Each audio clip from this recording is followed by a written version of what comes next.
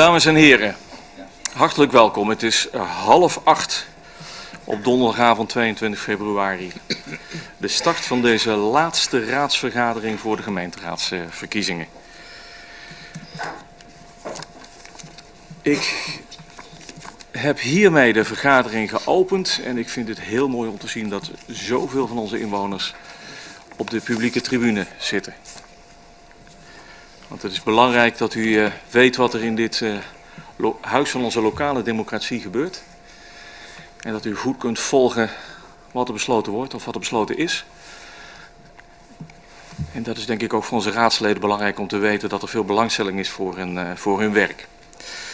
Daarmee is nogmaals de opening verricht. We hebben een agenda toegestuurd.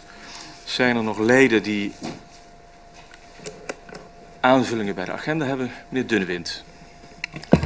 Dank u wel, voorzitter. Het CDA wil graag uh, samen met een aantal andere partijen een motie vreemd aan de orde van de dag indienen. Het gaat over de parallelwegen naast de N340.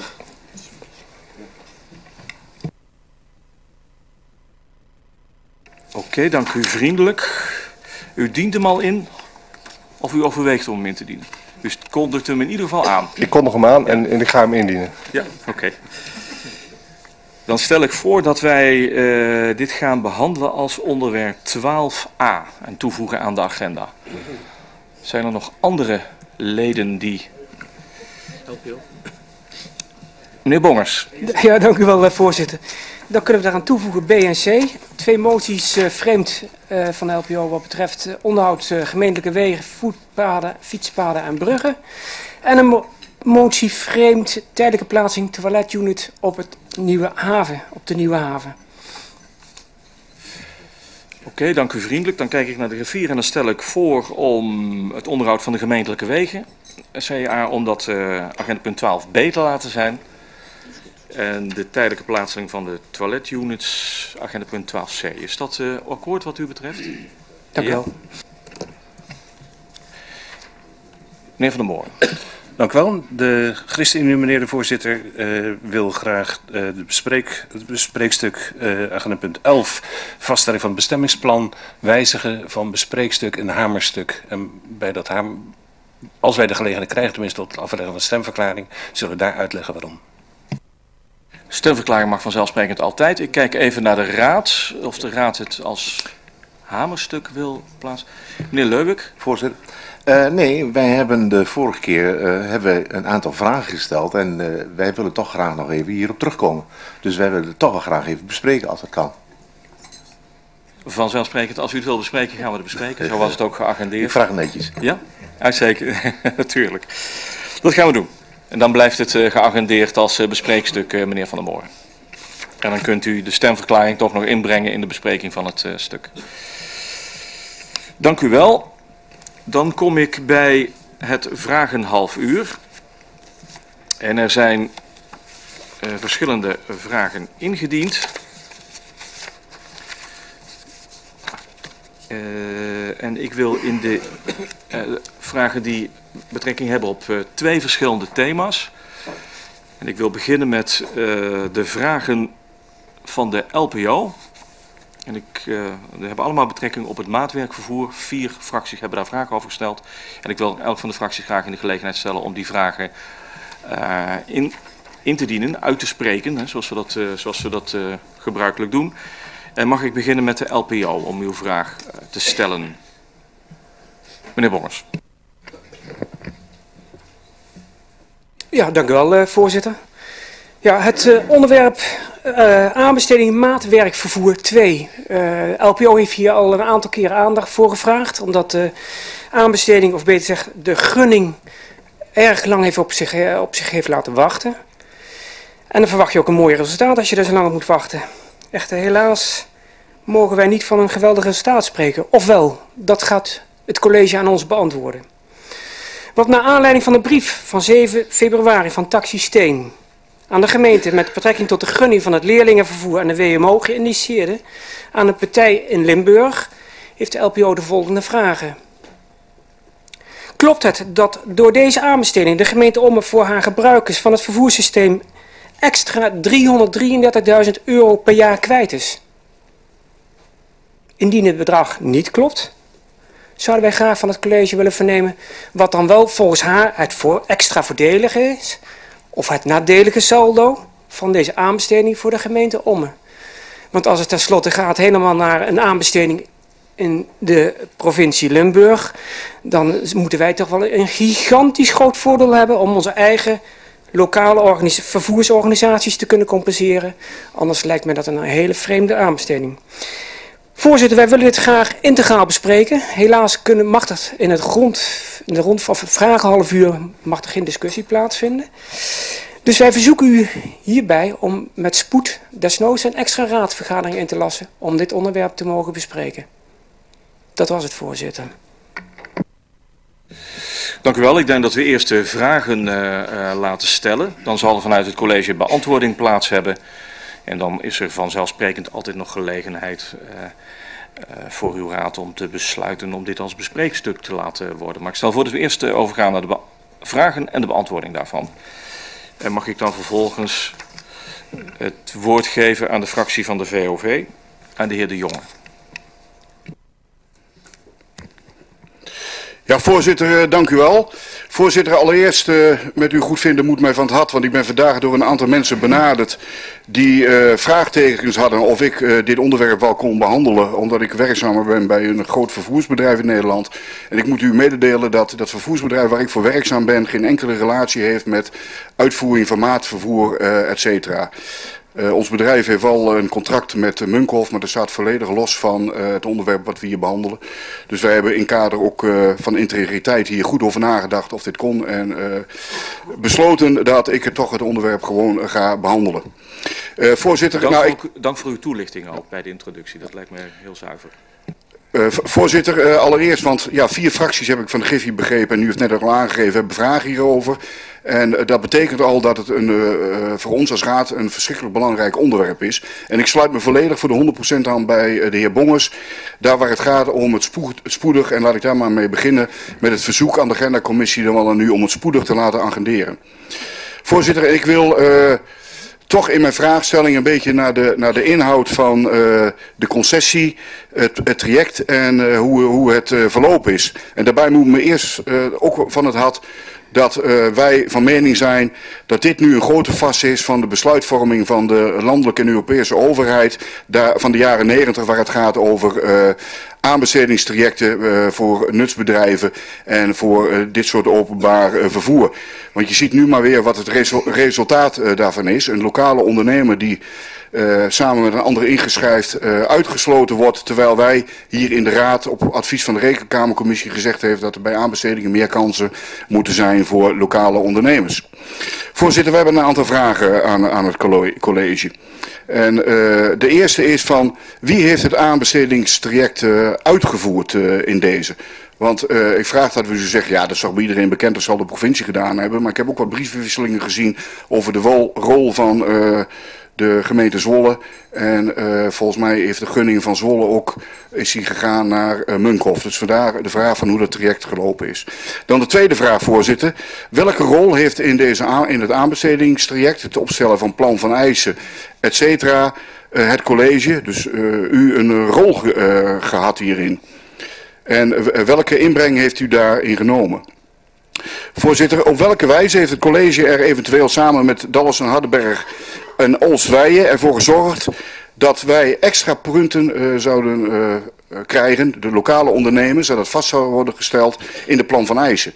Ik heb het vanmiddag nog even uh, uitgezocht en in het Europese aanbestedingsafspraken is het mogelijk om lokale ondernemers in het kader van de werkgelegenheid extra punten te laten verdienen. Dus aan u de vraag van op welke wijze heeft u dat uh, vastgesteld? Want ik heb zelf gelezen in, de, in een aantal stukken die ik vanmiddag uh, via de achterdeur binnen heb gekregen dat er in de gunningscriteria geen punten zijn opgenomen, extra punten te verdienen voor lokale ondernemers daar waar het gaat om deze aanbesteding voor uh, lokale ondernemers voor de werkgelegenheid. Dus graag aan u de vraag van wat het college daar heeft gedaan om ervoor te zorgen dat dat uh, erin is gekomen. Voorzitter, tweede, en dat sluit volgens mij ook een beetje aan bij wat de heer Bongers zei. Wat mij heel erg verbaasde is dat je tien punten krijgt in de aanbestedingstraject voor vijf pagina's te schrijven over een plan van aanpak. Een plan van aanpak die, zoals ik het goed begrepen heb, uh, in de onderste la moet, uh, moet blijven liggen, omdat daar een soort bedrijfsfilosofie in staat. Meneer dus de Jonge, meneer de Jonge, we hebben in uh, deze raad een procedure voor het indienen van vragen, ex-artikel 41. En ik stel vast dat u aanvullende vragen stelt op de vragen die, die u hebt gesteld in het kader van de procedure ex-artikel 41. Dus ik zou u willen vragen om u te beperken tot de vragen die u hebt ingediend. Nou, voorzitter, dank u wel. Maar volgens mij gaat dit over vraag 4. Van waarom heeft Munkhoff 10 punten extra gekregen, 10 punten gekregen uh, voor het plan van aanpak. En heeft slechts uh, Taxisteen, uh, dan wel in combinatie met de RTC, hier 6 punten voor gekregen. En voorzitter, want ik heb begrepen dat de beroepstermijn gesloten is. Dus volgens mij is deze vraag gewoon te beantwoorden. Voorzitter, heeft het college voordat het aanbestedingstraject startte erop aangedrongen dat er extra punten verdiend uh, zouden kunnen worden voor lokale bedrijven? En zo ja, is dit meegenomen in het plan van eisen? Dat sluit een beetje aan bij mijn vorige vraag. En zo nee, waarvoor zijn deze punten uh, niet meegenomen?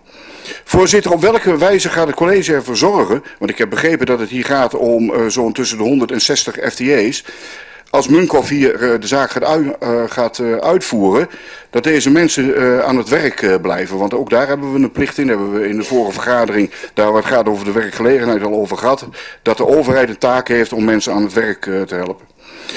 Heeft het gemeentebestuur nog mogelijkheden, voorzitter, om deze gunning uh, af te wijzen? En dat zou ons uh, voorstel zijn, want wanneer de raad dadelijk na alle vraagstellingen besluit om niet akkoord te gaan met de gunning, van welke mogelijkheid heeft u dan nog, of hebben wij als gemeentebestuur nog, om deze gunning, de, wel deze aanbesteding opnieuw te laten doen?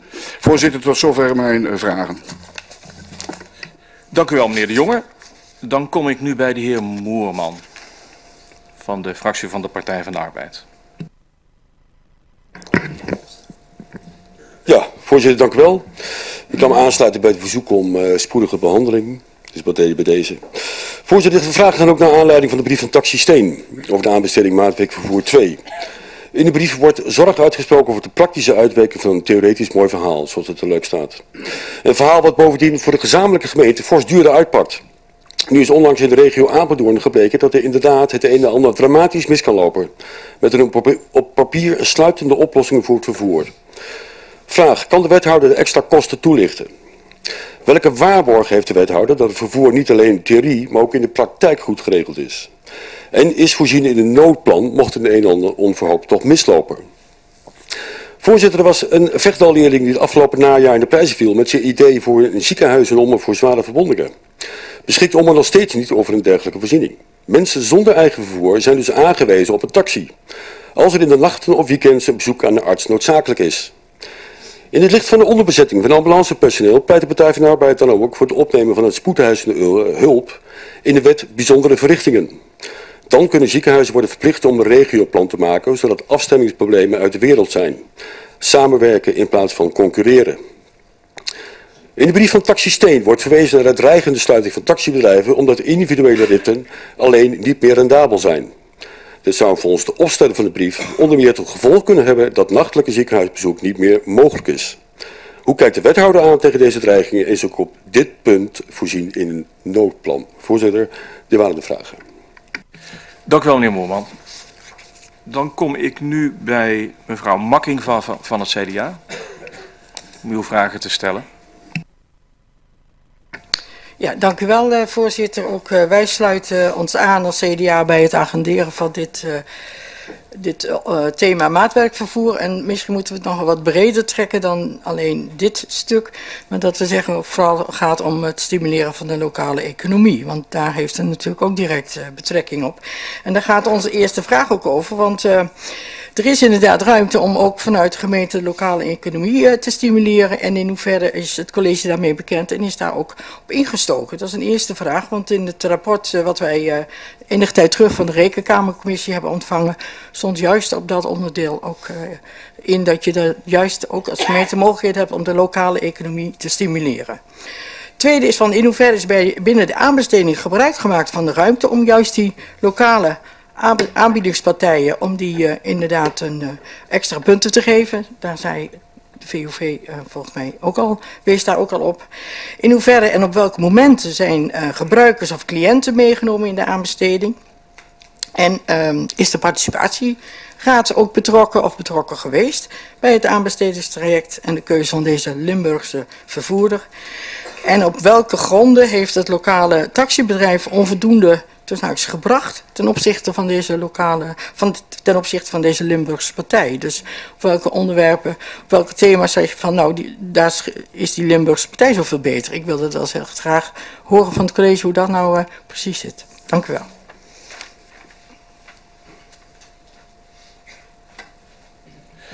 Dank u wel. Zoals u heeft waargenomen is de verantwoordelijk wethouder op moment, dit moment in verband met vakantie niet aanwezig. Dus als u het goed vindt zal ik de vragen beantwoorden. En dan vraag ik de heer Van der Moren om het voorzitterschap over te nemen. Ik geef de plaatsvervangend portefeuillehouder graag de mogelijkheid de vragen te beantwoorden. Gaat u gang. Voorzitter, eh, dank u wel. Het is duidelijk dat de aanbesteding voor WMO en leerlingenvervoer uh, heel wat heeft losgemaakt. En dat blijkt uit de aanwezigheid van veel uh, aanwezigen hier en dat blijkt zeker ook uit de vragen die van uw kant uh, zijn gesteld. En als u kijkt naar de aanbesteding die voor, voor het WMO-vervoer en voor het leerlingenvervoer heeft plaatsgevonden, dat is een aanbesteding die heeft plaatsgevonden in onze regio en verdeeld is over drie percelen percelen die regionaal zijn ingedeeld. En een van de percelen betreft de Omme, Hardenberg, Dalsen en Oswijen. Um, waarom is ervoor gekozen om een uh, aanbesteding te doen zoals we die gedaan hebben? Een Europese aanbesteding. De reden daarvoor is omdat ook in het verleden de keuzes gemaakt om dat gemeenschappelijk te doen. Omdat de verwachting is dat door in regionaal verband te komen tot een aanbesteding we enerzijds meer gebruik kunnen maken van schaalvoordelen. En dat het ook financieel een voordeel heeft. Enerzijds. En anderzijds omdat het vervoer in onze regio niet alleen betrekking heeft op de individuele gemeente. Maar daar waar het gaat om WMO-vervoer, leerlingenvervoer over de gemeentegrenzen heen gaat.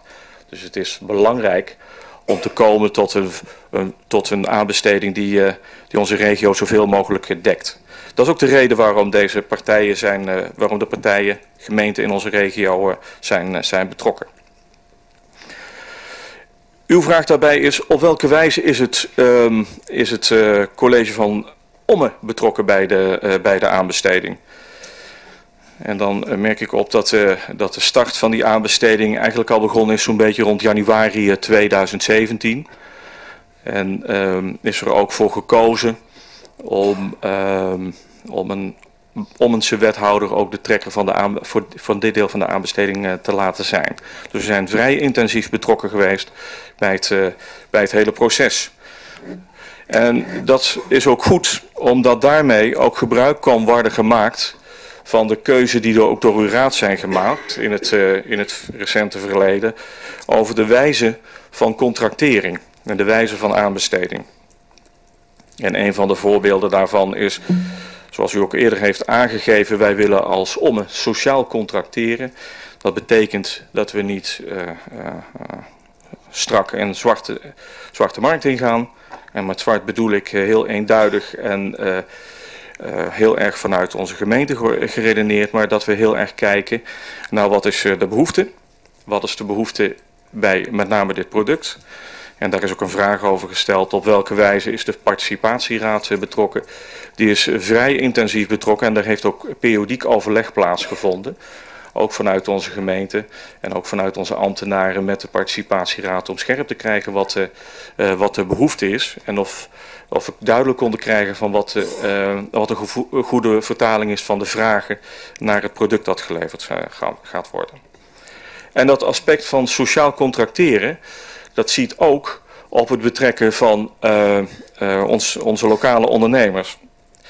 Heel concreet is in deze aanbesteding er ook voor gekozen om in het voortraject, en dat heet de marktconsultatie voor de aanbesteding 2, uh, zo, is dat, zo is dat netjes genoemd, dat, al van, dat in maart 2017 ook contact is gezocht met de aanbieders, de bestaande aanbieders, om met, hen te kijken, ik meen dat het aan de hand van iets van 20 vragen was, om te kijken of de voorwaarden die zouden worden opgenomen, of die we voornemens waren op te nemen in de aanbesteding, of die niet een belemmering zouden vormen voor de partijen in onze, in onze eigen omgeving, concreet de partijen die al, of de partij die ook in, uh, in Omme al diensten levert. Dus op die wijze heeft ook, is ook het begin gemaakt met uh, de consultatie van de markt.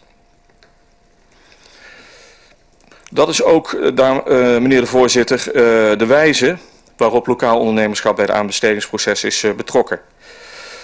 En, want wij, wij zijn ons zeer bewust als college dat het belangrijk is om onze eigen ondernemers, onze lokale ondernemers en vaak ook wat kleinere ondernemers een serieuze kans te geven in dit aanbestedingsproces. Want aanbestedingsprocessen Europees kunnen grootschalig zijn, zijn ook grootschalig, daar is ook voor gekozen. Maar we moeten niet vergeten dat we ook uh, juist die lokale ruimte willen bieden. Ik gaf u al aan, daar heeft ook uh, consultatie uh, plaatsgevonden. Er is ook gekeken naar de omzeteisen. Daar is ook gekeken naar mogelijkheden om samen te werken met andere partijen en om mogelijkheden om in onderaanneming mee te doen. Er is ook gevraagd of er suggesties zijn in het, in het kader van, uh, van de aanbesteding. In dit, dit verband is ook uh, Taxisteen geattendeerd om, uh, om mee te denken. En die heeft ook van deze mogelijkheid gebruik gemaakt. En die opmerkingen zijn zoveel mogelijk meegenomen in de aanpak van de aanbesteding.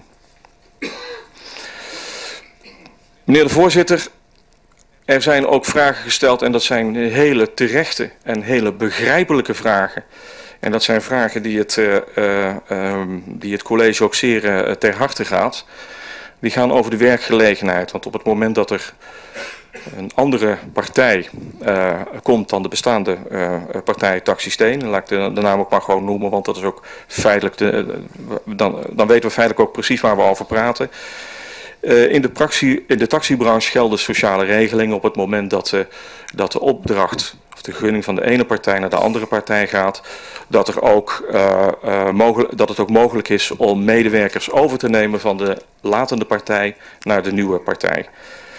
En de gegunde vervoerder zal door ons college ook met nadruk gevraagd worden om met taxisteen in gesprek te gaan. Voorzitter, er is ook gevraagd naar uh, de kosten en de toename van de kosten zoals die ook uh, geconstateerd is. Um, het is denk ik goed om vast te stellen dat uh, naar verwachting in 2019 voor onze gemeente ten opzichte van de huidige uitgaven voor WMO-vervoer en leerlingenvervoer een tekort zal ontstaan van 70.000 euro. Daar zal er zijn de tijd in de richting van uw raad zal daar ook uh, voorstel voor komen om dat mee te nemen en financieel te dekken naar 2019. De vraag is natuurlijk, hoe kan dat, hoe kan dat ontstaan? En daar zijn een aantal redenen voor. En die hebben met name betrekking op de verhoging van de kwaliteit van de dienstverlening, zoals die wordt nagestreefd in de nieuwe, in de nieuwe gunning. De inzet van duurzame voertuigen, dat is het tweede punt. En het derde punt is het verlagen van de eigen bijdrage voor de gebruikers. En tot slot heeft er ook een algemene prijscorrectie plaatsgehad in de vervoersmarkt. Maar dat zijn de, de vier aspecten die daarbij een rol spelen. En uh, even aansluitend bij de verhoging van de kwaliteit is denk ik goed om een aantal aspecten te geven die, in, uh, die een aanpassing vormen in, deze, in dit contract ten opzichte van het, uh, van het vorige contract. Er is sprake van de introductie van een spits- en daltarief conform de OV-systematiek. Het vervallen van de budgetrit, waardoor de vervoerder grotendeels bepaalt hoe laat de inwoner wordt opgehaald. Dat is dus niet meer mogelijk in de, in de, nieuwe, uh, in de nieuwe dienstverlening. Ik had het al over, uh, ik had het nog niet over de introductie van het daltarief, en de maar wel over de vermindering van de eigen bijdrage. overigens wordt aan de vervoerder de mogelijkheid geboden om vervoersstromen meer te combineren als dit wenselijk is. Er komen geen extra kosten voor de aankomstgarantie voor het tijdstip. Dus dat, dat is een verbetering ten opzichte van de bestaande situatie. En er ontstaan mogelijkheden voor de gemeente om meer vervoer onder dit contract te laten vallen als, op dit, als, als dit op een later moment wenselijk mogen blijven. Nou, het aspect van duurzame uh, wagenpark heb ik u al, uh, heb ik u al genoemd. Voorzitter, er zijn vragen gesteld over uh, de waarborgen van de afspraken, zoals die in de aanbesteding worden opgenomen.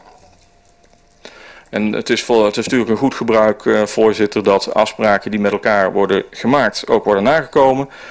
Dat is de, het karakter van een contract en daar zal niet alleen de gemeente, maar zullen ook de andere deelnemers in deze aanbesteding richting de uh, gegunde partijen op, op toezien. En wij verwachten ook dat mochten er klachten zijn, want er zijn korte lijnen met, uh, met vertegenwoordigers van, van de uh, participatieraad, dat we daar ook op snel en uh, op korte termijn kunnen inspelen, mochten zich onwenselijke situaties voordoen. Voorzitter, de aanpak, deze aanpak die heeft bij het beheer van de aanbesteding, het eerste deel van de aanbesteding in de optiek van de gemeente goed gewerkt. En dat is bijvoorbeeld ook een reden waarom wij niet een regiocentrale in onze, uh, in onze aanbesteding hebben opgenomen. Er is ook een vraag gesteld over ervaring elders, bijvoorbeeld in Apeldoorn. Daar is bewust voor gekozen om wel een regiocentrale uh, te introduceren. En voorzitter, wij denken dat de taxibranche veel beter in staat is om de inzet van taxis uh, te organiseren dan dat wij daar een, een, gezamenlijk, um, een gezamenlijk regiecentrale bovenaan zetten. Het is in ieder geval niet een overheidstaak en er is ook niet veel overheidservaring mee. Dus in onze optiek zullen we dat niet moeten, zouden we dat niet moeten doen. Voorzitter, er zijn ook vragen gesteld over een noodplan. Uh, laten we vooropstellen dat in de optiek van het college voldoende tijd is om um, uh, te komen tot de, implementeren van, tot de implementatie, te komen tot het invoeren uh, van de nieuwe, de nieuwe aanbieder in, in onze gemeente. Het is nog, uh, er is nog voldoende tijd om die overgang te laten plaatsvinden. Uh, dus wij zien op dit moment ook niet een reden om tot een noodplan uh, over te gaan. als mocht, in, mocht het later in het jaar tot problemen dreigen te leiden, dan zullen we vanzelfsprekend op dat moment ook maatregelen nemen en afspraken maken met een nieuwe aanbieder. Voorzitter, ik ben al ingegaan op uh, de betrokkenheid van gebruikers, cliënten in de participatieraad. Heb ik u al, uh, al geschetst. Er is intensief uh, mee gesproken. En ook de, de wijze van betrekken van de ondernemers. Voorzitter, ik, ik hecht eraan om nog stil te staan bij de vraag die vanuit de raad is gesteld om dit onderwerp te agenderen. En agenderen is, uh, dat, dat, dat kan in een extra raadsvergadering, maar u zou dat ook kunnen doen als u dat wenst.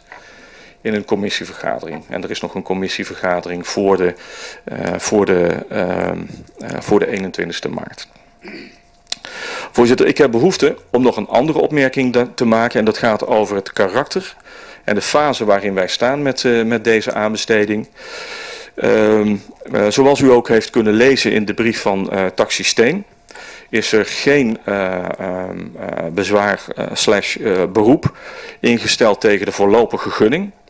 En dat betekent dus ook dat de rechtsmiddelen vervallen zijn. Het is niet meer mogelijk om in die zin nog bezwaar te maken tegen de gunning zoals die heeft plaatsgevonden. Dat betekent dus dat de voorlopige gunning ook een definitieve gunning wordt. En de vraag die ook gesteld is door een aantal van uw fracties. Wat kan de gemeente daaraan doen? In de optiek van ons college kan de gemeente daar helemaal uh, niets meer aan doen op dit moment. Er, heeft een, uh, een, uh, er is op een juiste en een zorgvuldige wijze heeft, heeft aanbesteding plaatsgevonden. Um, er zijn vanuit, deze, vanuit, vanuit het perceel waar wij in werken, of ten aanzien van het perceel, zijn, is geen bezwaar en beroep ingesteld. En dat betekent dus ook dat deze, dat deze gunning definitief gaat worden. Um, nou, ik gaf u al aan, dat neemt niet weg dat wij als college al zeer bewust zijn van de betekenis daarvan. Van het gunnen aan een andere partij dan taxisteen, met name voor, uh, voor, de, uh, voor de chauffeurs. Natuurlijk ook voor de ondernemer, maar zeker ook voor de chauffeurs van, uh, van, het, van het bedrijf. En wij zullen erop aandringen bij de nieuwe, de nieuwe partij die het vervoer zal gaan regelen om ook de, de medewerkers van Taxisteen in het kader van sociale afspraken zoals die binnen de taxibranche gelden over te nemen in de nieuwe vervoerder. Of naar de nieuwe vervoerder. Voorzitter, dat zijn, uh, dat zijn de antwoorden op de vragen. Dank u wel. Ik dank u wel. Ik zit, ja, ik zit even met, uh, met de volgende vraag. Uh, vanuit de Raad is een aantal keren dus gevraagd om een behandeling op een, een ander moment. Uiteraard kunnen nu nog nadere vragen worden gesteld ter verduidelijking van. Ik zit ook te denken, uh, ik had het willen overlaten, dat onderdeel aan uh, de heer Vrome, wanneer die weer op die plaats zou, uh, zou zitten, om vervolgens dat nog een keer formeel ook te vragen en aan te geven, de behandeling in een, op een volgend moment via een raadscommissie of op welke manier dan, dan ook. Met andere woorden, de tijd die we nu gaan besteden aan nadere vragen, zouden we die niet beter kunnen gebruiken uh, wanneer we verder met elkaar gaan spreken, waar dan ook, denk ik, inspraak van, uh, van betrokkenen op mogelijk is. Dus ik leg eigenlijk de vraag uh, even terug. Heer Bongers. Ja, dank u wel, voorzitter. We hebben goed geluisterd. Um, in dit geval zijn er dus eigenlijk geen winnaars, geen winnaars maar alleen maar verliezers. de lokale vervoerder heeft verloren. Maar ook de gemeente om heeft verloren, want die moet extra bijlappen. Het levert dus geen winst op, maar het kost ons alleen maar geld. En als hoogste orgaan, de gemeenteraad, vind ik dat wij dit met de hoogste spoed moeten gaan behandelen. Want ik vind dat wij dit uh, niet zomaar kunnen accepteren. En ik zou inderdaad graag ook betrokkenen willen horen. Want dit, uh, dit, dit moeten we helemaal tot op de bodem gaan uitzoeken, want dit kan gewoon niet dit heeft iemand een mandaat gewoon niet goed ingezet. En ik vind dat wij hier uh, keihard aan moeten werken op zeer korte termijn, voorzitter. Door u aangegeven urgentie is, is duidelijk, daar gaat het mij ook niet zozeer om. Het gaat er mij om dat we nu niet uh, tegen onze eigen regels in moeten gaan door nu een soort discussie te starten. Laten we dan liever dat moment dan met elkaar vaststellen om wel recht te doen aan dit onderwerp. Dat is mijn enige vraag. Voor, ja, vo voorzitter, want ik had op één uh, vraag nog geen antwoord gekregen. En dat is volgens mij... De... Gaat hij uit? Van uh, wat het college... Uh, kijk, de, de, de, portefeuillehouder die geeft aan over dat marktconsultatiedocument. Hè, en daar staat eigenlijk geen woordspaans in. Hè, want er staat iets over sociaal, sociaal return in en allerlei zaken. Maar niet om het wezenlijke punt van wat verdient een lokale ondernemer en welke extra punten zijn te verdienen voor een lokale ondernemer. Hè? En mijn vraag was, wat heeft het college uh, daaraan gedaan om ervoor te zorgen... Uh, op het moment voor uh, 17 maart was het volgens mij 2017 dat er ingediend moest worden, dat het in het plan van eisen komt te staan. Want ik vind het, de portefeuillehouder die geeft een heel mooi verhaal over de mogelijkheden die de wet personenvervoer geeft. Hè, artikel 40, een overleg bij de overgang van wat doe je met je personeel. Maar voorzitter, mijn ervaring is en uh, dat daar uit het artikel 40 document helemaal, of artikel 14 van de wet personenvervoer 2000, helemaal niets uitkomt van overname voor personeel. Dus vandaar hechten wij zo waarde aan het antwoord over die punten die er te verdienen zijn. Want daar hadden wij immers in onze optiek als gemeentebestuur inzet in moeten plegen dat die lokale ondernemer aan de bak komt. Dank u wel voor uw betoog. Ik herhaal wel, en dat is niet om, om mij er maar vanaf te maken met, met deze inbreng, maar of we deze discussie niet op een ander moment met elkaar moeten voeren en dan in kunnen gaan op. Want ik, nou, ik wil eerst uh, dan de portefeuillehouder vragen of die in kan gaan op deze vraag. Ja, voorzitter, uh, dank u wel. Um, er zijn twee dingen die ik, uh, die ik uw raad wil meegeven. De puntentoekenning die uiteindelijk heeft geleid tot de gunning, heeft niet alleen betrekking, heeft niet alleen betrekking op uh, het lokale aspect. Er zijn veel meer aspecten die een rol spelen. Ik moet u in alle oprechtheid, uh, en dat is, uh, dat is omdat ik op dit moment op deze plek even niet weet, dat ik die, die gegevens zo niet beschikbaar heb, welke, welke punten zijn toegekend op welk niveau. Dat, uh, daar moet ik u het antwoord op schuldig blijven. Die informatie kan u wel uh, verstrekt worden. En dat zullen wij, uh, voor zover dat kan, in het kader van, van een aanbestedingsprocedure, zullen wij u daar ook schriftelijk over informeren. Dat neemt niet weg, voorzitter. Want ik, ik, ik hoor de, de zorg in uw raad en ook de oproep en de wens om um, stappen te zetten, zou ik bijna zeggen. Maar ik wil u wel voor waarschuwen dat u verwachtingen wekt die u misschien wel niet kunt waarmaken. En ik vind het belangrijk om dat ook vanaf deze plek in uw richting aan te geven. De gunning heeft plaatsgevonden en die gunning is onomkeerbaar. En op het moment dat u zegt, ik wil, wij willen daar als, of de raad wil daar toch over spreken, dan is dat het recht van de raad en dan moet u dat ook doen. En dan is het uh, aan u om te bepalen of dat in commissieverband, waar ook ingesproken kan worden, dan wel in een extra raadsvergadering, waar ik u dadelijk ook zal vragen, wat heeft u voorkeur, wat u kunt doen. Maar ik wil u er wel op wijzen dat u niet daarmee de verwachting moet wekken dat u de aanbesteding ongedaan kan maken. Dank u wel.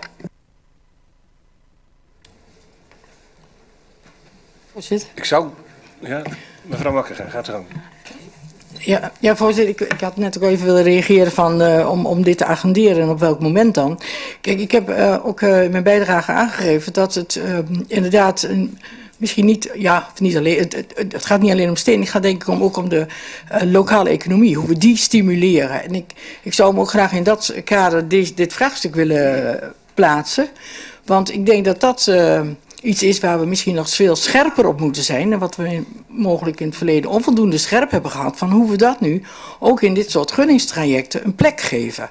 En dat, dat zou ik graag als, ja, centrale vraag ook willen stellen. En of dat nog voor de verkiezingen moet of direct na de verkiezingen. Nou, ik, ik zou hem wel in ieder geval geagendeerd willen hebben. En dat kan misschien uh, in de eerstvolgende commissievergadering. Dat zou, maar ik heb niet helemaal zicht op hoeveel daar al op de agenda staat. Dus dat... Uh, maar ik denk wel dat het heel wijs, goed is om juist die lokale economie, hoe we dat kunnen stimuleren en een plek geven in gunningen, om daar aandacht voor, vraag ik daarvoor. De portefeuillehouder is intussen weer gaan zitten. Dat kan natuurlijk een hint zijn naar mij om ook maar van plaats te wisselen. Uh, ik denk wel als ik zo de reacties heb gehoord, het soort reacties, dat we in ieder geval aangekomen zijn op het punt dat de vraag en de beantwoording daarvan, dat onderdeel, of dat nou behoren, of althans in voldoende mate is beantwoord, dat laat ik in het midden. Maar dat dat onderdeel in ieder geval gepasseerd is en dat we nu zijn aanbeland op het moment en hoe verder. En als dat zo is, dan geef ik graag de voorzittershamer weer over aan de echte voorzitter. Dank u. Dank u wel, meneer Van der Moor. Maar ik heb de indruk dat die voorzittershamer hier niet weg, uh, niet weg is geweest. Ik wil hem ook zo min mogelijk gebruiken. Uh, ik, kom, uh, ik, kom, terug bij uh, de, de procedurevraag die aan de orde is. Het bespreken van, van de, van de, ehm, van de maatwerkgunning WMO en leerlingenvervoer. aanvankelijk heeft u aangekondigd. Wij willen dat als raad bespreken. Er zijn twee mogelijkheden. ik stel u voor om dat in een volgende commissievergadering te doen. Heeft u daar behoefte aan? Ja. Ik zie, er zijn... Mevrouw Bakelaar. Ja, sorry voorzitter. Um, ja, mits het wel goed voorbereid kan worden. Hè? Want uh, wat uh, mijn collega ook al terecht zei, het gaat breder. Dus het gaat om, volgens mij, hopelijk, hopelijk onderkennen we dat... dat die breder gaat over de lokale economie... en ook wat we gezegd hebben in het Rekenkamercommissieonderzoek. Hè? Dus hij moet wel goed voorbereid worden. Dat is wel mijn voorwaarde. Uh, dat was precies ook de reden waarom ik uh, voorstelde om de aanbesteding uh, te agenderen. Want dat is de eerste vraag die in de commissie lag. Mevrouw Makkinga heeft aangegeven, ja. wij zouden breder willen spreken. Ik wil nu even kijken naar de, de ik zou bijna zeggen, de, de wat concrete vraag over de maatwerkaanbesteding. Of u die wilt agenderen. En dan kom ik dadelijk bij de vraag of er behoefte is om het betrekken van lokale ondernemers en stimuleren van de lokale economie om die uh, te agenderen. Voorzitter, meneer, maar dat tweede, dat, tweede, dat, dat tweede hoeft voor mij niet, want daar hebben we namelijk uh, bij het rapport van de Rekenkamercommissie en de aanbeveling heeft u als college overgenomen, daar hebben we uitgebreid aan over gesproken, hebben we een visie in vastgesteld en hebben we UK als college kaders meegegeven op welke wijze u dat moet uitvoeren. Dus in, wat mij betreft gaat het hier om het traject waar we nu over gesproken hebben. Oké, okay, dan ga ik even alle uh, de fracties af. En mijn concrete vraag is, wilt u in een komende commissievergadering de maatwerkaanbesteding bespreken? Uh, wat mij betreft kan het kort met de mededeling ja of nee. Ja. Ik kom bij de fractie van D66, meneer Mors. Ja. Ja, VVD ook, Partij van de Arbeid, LPO en ChristenUnie ook. Dan gaan wij in de volgende uh, commissievergadering, zal dit onderwerp worden geagendeerd. Uh, dan is er ook gelegenheid voor insprekers. Nou, ik heb u toegezegd dat ten aanzien van, de score, uh, van, de, van het scoren van de partijen die hebben deelgenomen in de aanbesteding, dat wij u zullen voorzien van, van informatie voor zover de aanbesteding dat toelaat. Vanzelfs, vanzelfsprekend. komt uw kant op. En ik heb u juist al de gewaarschuwd voor de verwachtingen. Dus dat hoef ik niet, dat, dat herhaal ik op, dit moment, op, op, dit, op deze plek nog eventjes. Neem die weg dat u moet bespreken wat u vindt dat er besproken moet worden. Dus dat gaan we doen. Meneer Wongers. Aanvullende vraag, uh, voorzitter. Ik neem aan dat er een gelegenheid is voor uh, sprekers om in, inspreken. Inspraak is mogelijk bij de commissievergadering, okay. zoals u weet. Ja. Dus dat is... ja. Ik, ik wil dit afconcluderen, maar ik zie meneer Mors nog de vinger opsteken. Ja, graag. Uh, ik, ik weet wat er ongeveer uh, openbaar gemaakt mag worden. Maar er is er uiteraard ook nog een mogelijkheid om informatie te delen onder vertrouwelijkheid. Ja, maar ik weet dat u er gaat eraan hecht zo min mogelijk informatie in de vertrouwelijkheid te krijgen. Dus ik geef er de voorkeur aan om de informatie die verstrekt kan worden, om die ook daadwerkelijk te verstrekken. Want dat maakt het voor u ook eenvoudiger om in de openbaarheid met elkaar het eh, debat te voeren. Ja? Oké, dan uh, hebben we deze vraag beantwoord en is daar ook een procedureafspraak over gemaakt. Ja? Dank voor uw inbreng.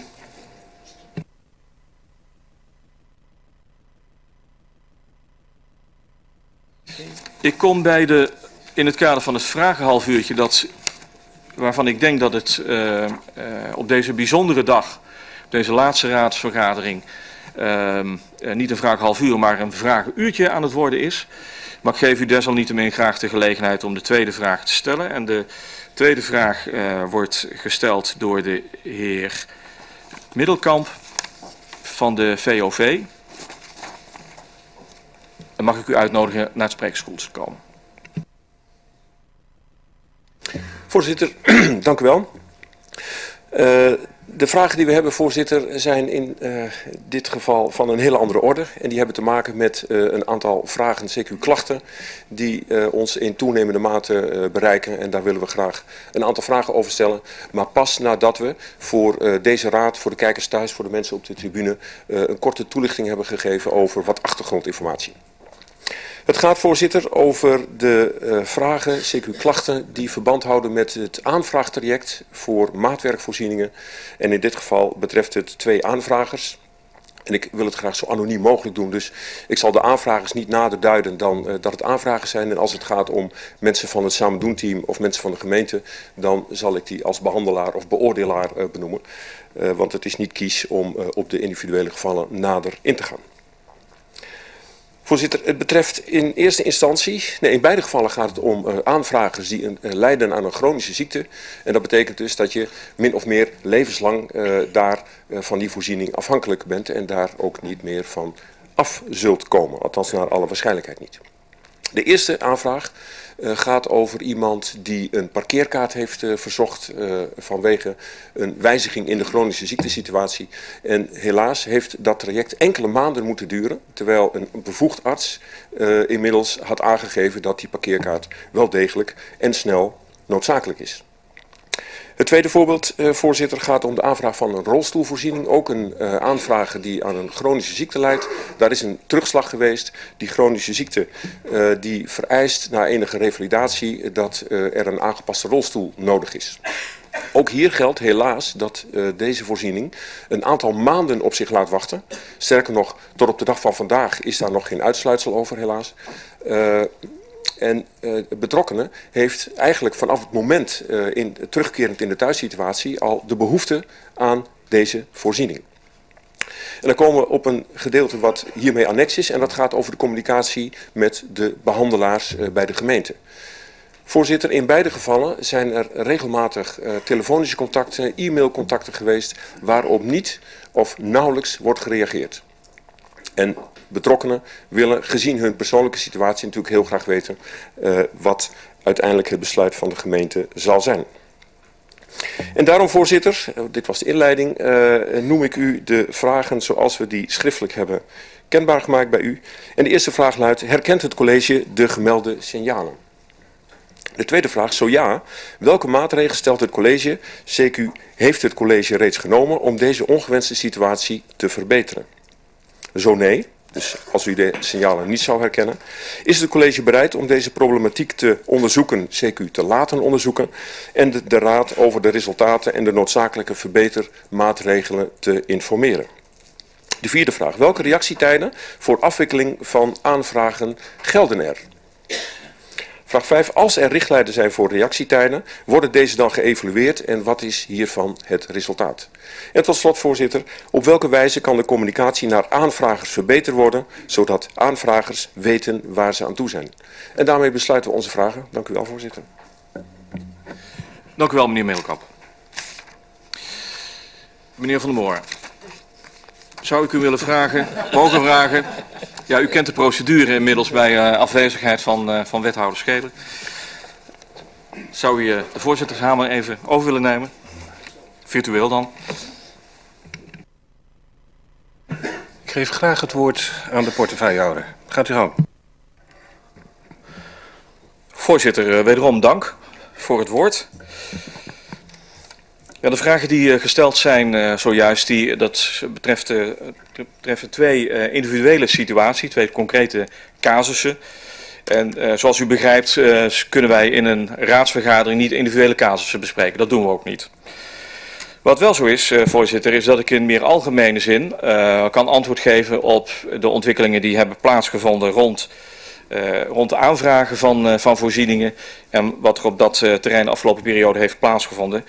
De eerste vraag die, u die werd gesteld door de fractie van de VOV en door de heer Middelkamp was, herkent het college de signalen? Het college is er zich van bewust dat de afgelopen periode een aantal wijzigingen, zowel in systemen als in afspraak, hebben plaatsgevonden. Uh, en die hebben in individuele geva gevallen geleid tot langere wachttijden, tot langere levertijden, excuus, en daarmee tot langere wachttijden. Inmiddels zijn er de nodige maatregelen vanuit onze organisatie getrokken, getroffen om met de leverancier afspraken te maken zodat dit niet tot een structureel probleem gaat leiden. We hebben dus op dit moment ook geen aanleiding om te denken dat er sprake is van een structureel probleem. Dat willen we vanzelfsprekend, zeker bij deze hele kwetsbare doelgroep, zoveel mogelijk voorkomen. Um, ten aanzien van de parkeervergunning, want aanpak verkeervergunning was de eerste vraag die u daarover stelde.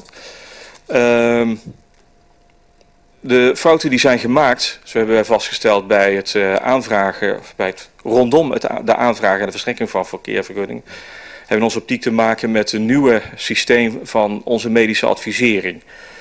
En dat systeem dat heet uh, Argonaut voor, uh, voor de fijnproevers.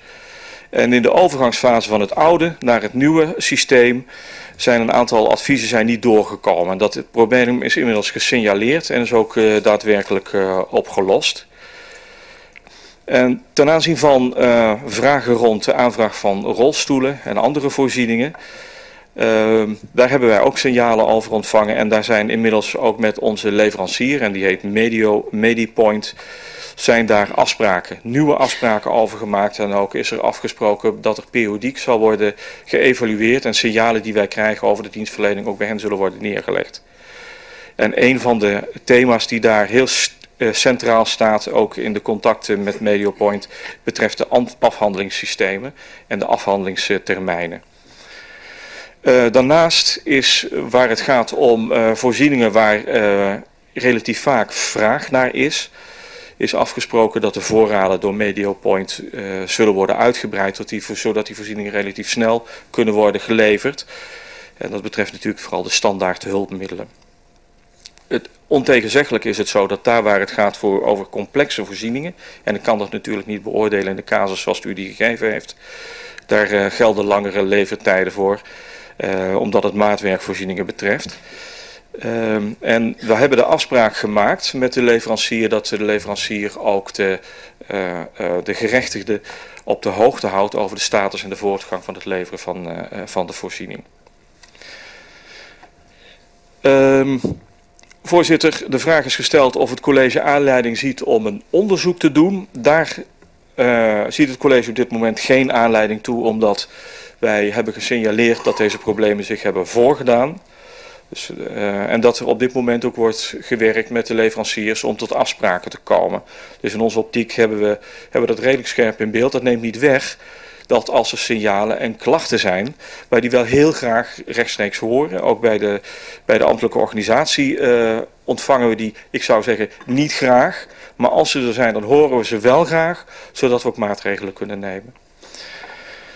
Um, u, heeft ook de concrete vraag gesteld, wat zijn nu de uh, reactietijden voor de afwikkeling van, uh, van de aanvraag? En dan moet ik even een bril opzetten, moet ik in alle eerlijkheid zeggen. Uh, in de, de WMO 2015 is opgenomen dat een melding binnen zes weken onderzocht wordt. En dat het college dan binnen twee weken na aanvraag de beschikking uh, afgeeft. En dat betekent kortom dat een voorziening er zou moeten zijn in acht weken. Dus dat is, uh, dat is de richttijd aan de hand waarvan wij uh, werken. Nou, ik maak dan een opmerking over de complexe voorzieningen, maar dat neemt niet weg dat betrokkenen daarover uh, moet worden geïnformeerd. En daar hebben we ook afspraken over gemaakt. Daarmee denk ik, voorzitter, dat ook de vragen rond reactietijden zijn, zijn beantwoord. Uh, er is ook de vraag gesteld hoe de communicatie naar de aanvragers verbeterd kan worden, zodat aanvragers weten waar ze aan toe zijn. Daar heb ik u juist ook aangegeven de afspraken die we hebben gemaakt met, uh, met onze leverancier. We kijken ook met de leverancier of we kunnen komen tot vaste communicatiemomenten uh, aan de aanvragers. Ik stel me daarbij een, een soort van protocol voor dat er momenten zijn zodat ook echt de verbinding en contact met de aanvrager wordt, uh, wordt ondernomen. En nogmaals, ik, ik, ik hecht eraan dat als daar klachten zijn of als daar problemen zijn, om dat ook alsjeblieft bij onze ambtelijke diensten te melden, zodat dat kan, kan worden opge, opgepakt. Want we hebben daar als, als gemeente afspraken over gemaakt, over termijnen en reactietermijnen.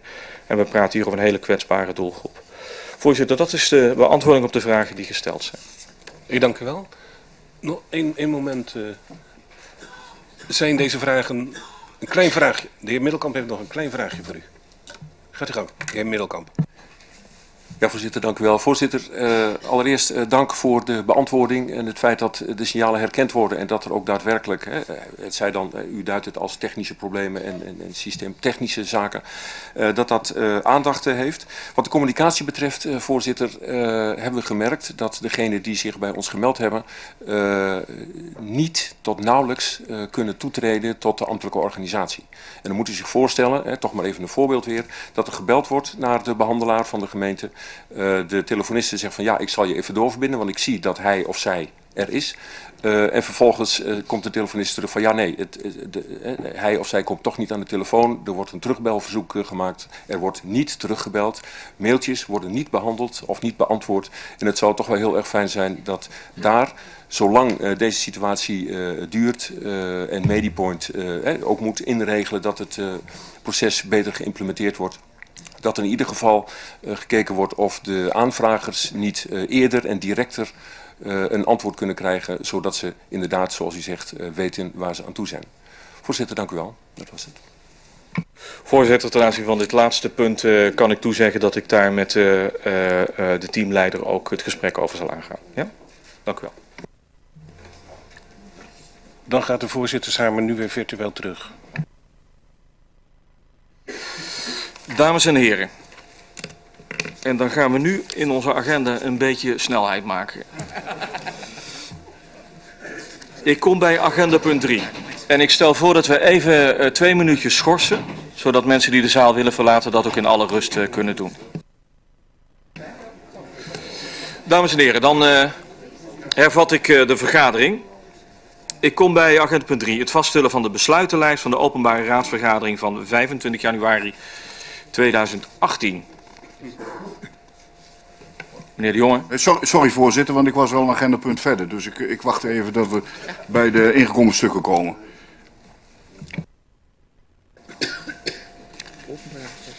Ja.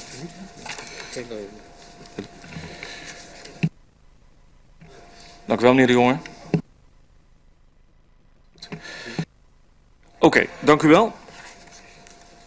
Dan ga ik naar het volgende agendapunt, meneer de Jonge. Ja, voorzitter, eh, dat moet, dat moet er goed voor u voelen dat ik snel door die vergadering heen wil, want, uh, zoals u al aangaf. Maar bij agenda punt 4, uh, voorzitter, een klein puntje. Want bij uh, stuk nummer 1 daar stelt u eh, voor om uh, dat uh, stuk ter afdoening in handen te stellen van het college. En mijn fractie die zegt, en ook wat er nu net bij het vraag half uurtje gebeurd is, van laten we dat even parkeren tot de discussie. En dat de raad misschien, er zijn geen vragen gesteld, maar een gezamenlijk antwoord in de richting van mevrouw Begeman kunnen vormen.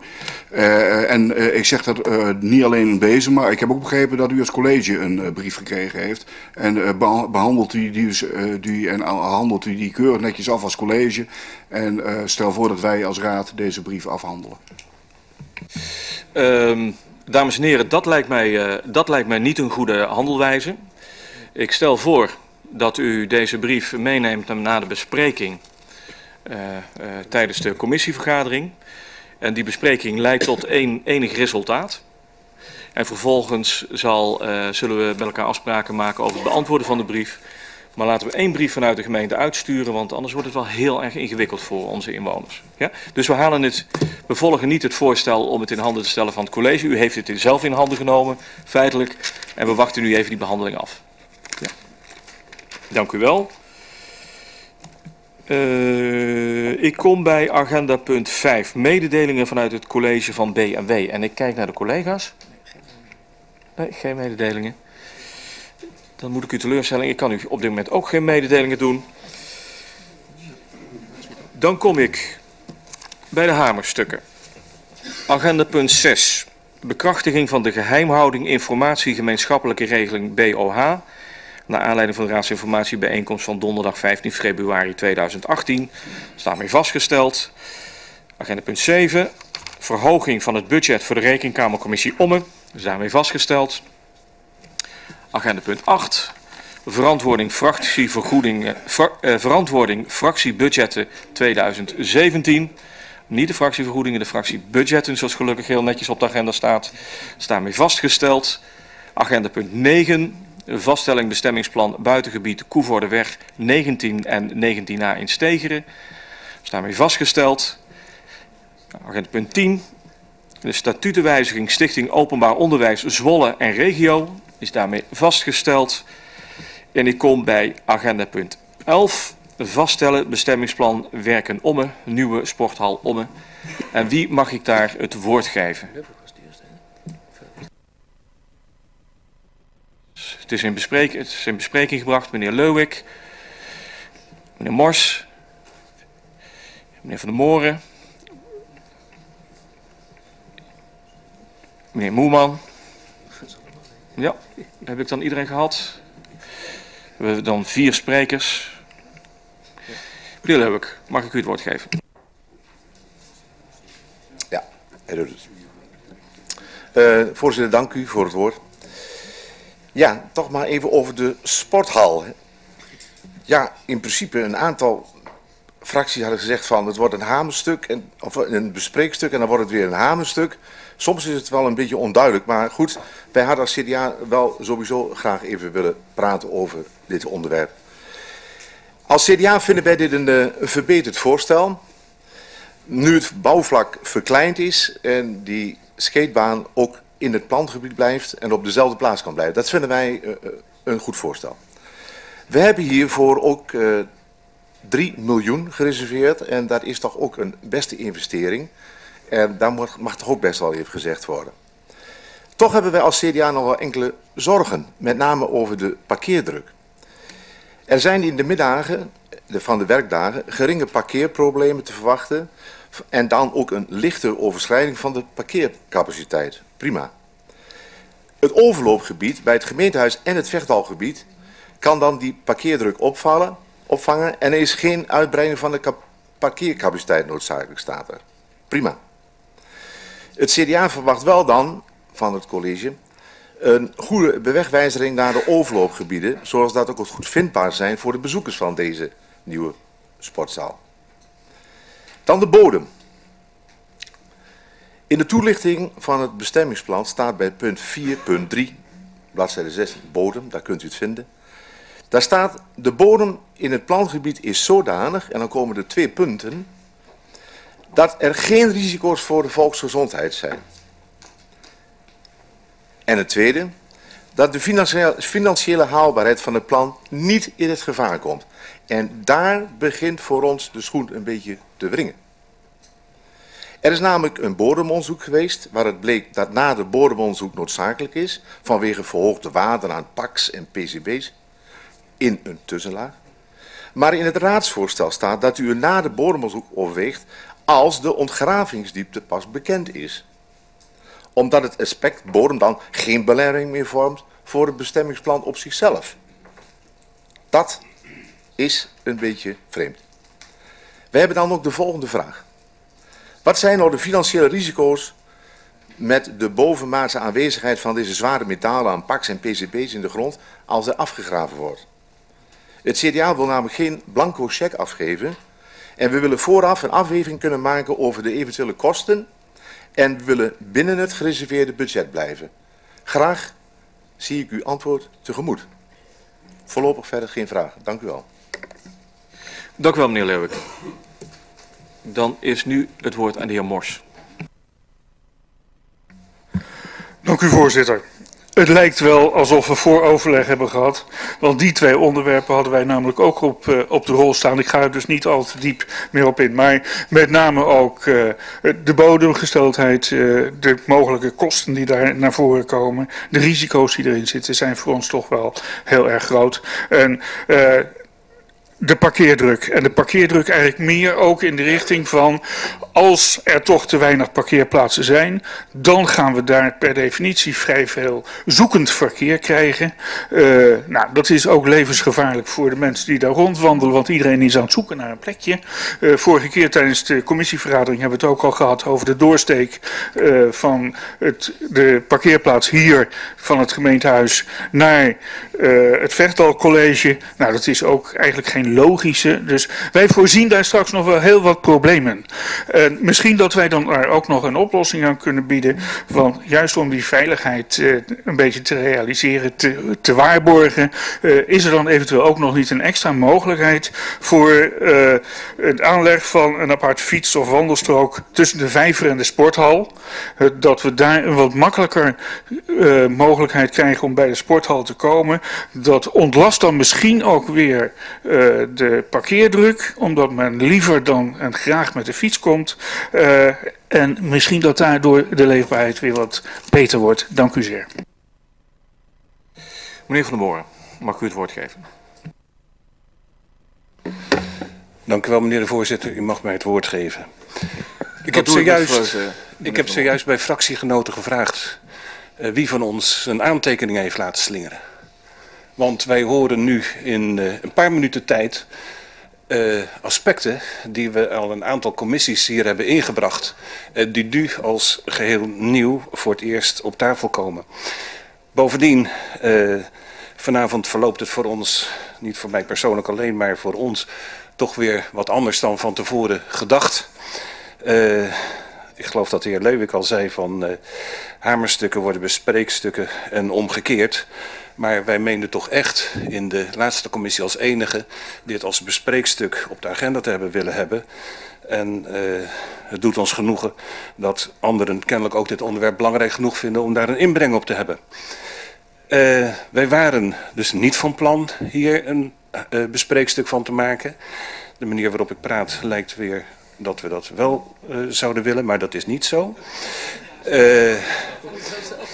Heroverweging staat in mijn oorspronkelijke tekst. Heeft geleid tot het opstellen van een stemverklaring.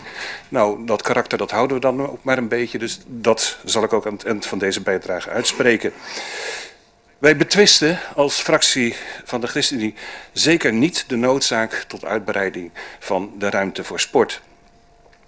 We hebben wel degelijk de nodige kanttekeningen bij het gevolgde proces door en met het Vechtal College. Dat heeft alles te maken met leerlingprognoses en de gevolgen daarvan.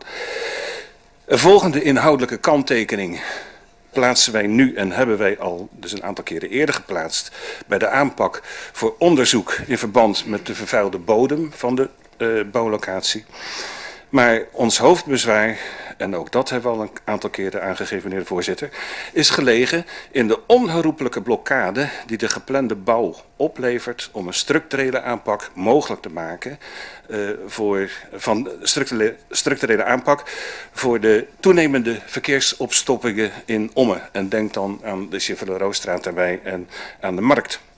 De genoemde kanttekeningen en de bezwaren, daar komt hij, zijn voor onze fractie reden om tegen het voorliggende voorstel te stemmen. Dank u. Dank u wel, meneer Van der Moor. Meneer Moerman. Ja, voorzitter, dank u wel. Uh, onze vraag ging ook over het bodemonderzoek. Uh, die vraag is lekker aan de orde geweest. Er zijn verhoogde concentraties van uh, barium en zink. Daar staat er zo leuk in. Er zou natuurlijk verhoogde waarde kunnen zijn. Maar de kans bestaat ook dat het komt door uh, de stort die daar gezeten heeft. Nou, het laat zich raden wat daar inderdaad uh, de oorzaak van is. Dus de vragen die aan de orde zijn geweest uh, van de CDA kan ik mij bij aansluiten. Dank u wel, meneer Moerman. We hebben alle vier de insprekers het, het woord gevoerd. Ik geef graag uh, wethouder Katerberg de gelegenheid om te antwoorden. En ik zou de leden van de raad in overweging willen geven om nog eens met elkaar het gesprek aan te gaan over onderwerpen die wij in de commissie en die wij in de raad bespreken. Want ik hoor een aantal vragen waarvan ik denk van die zouden ook echt in de commissie aan de orde moeten komen. En kunnen komen. Voorzitter, mag ik daar even op reageren? Meneer Leeuwik.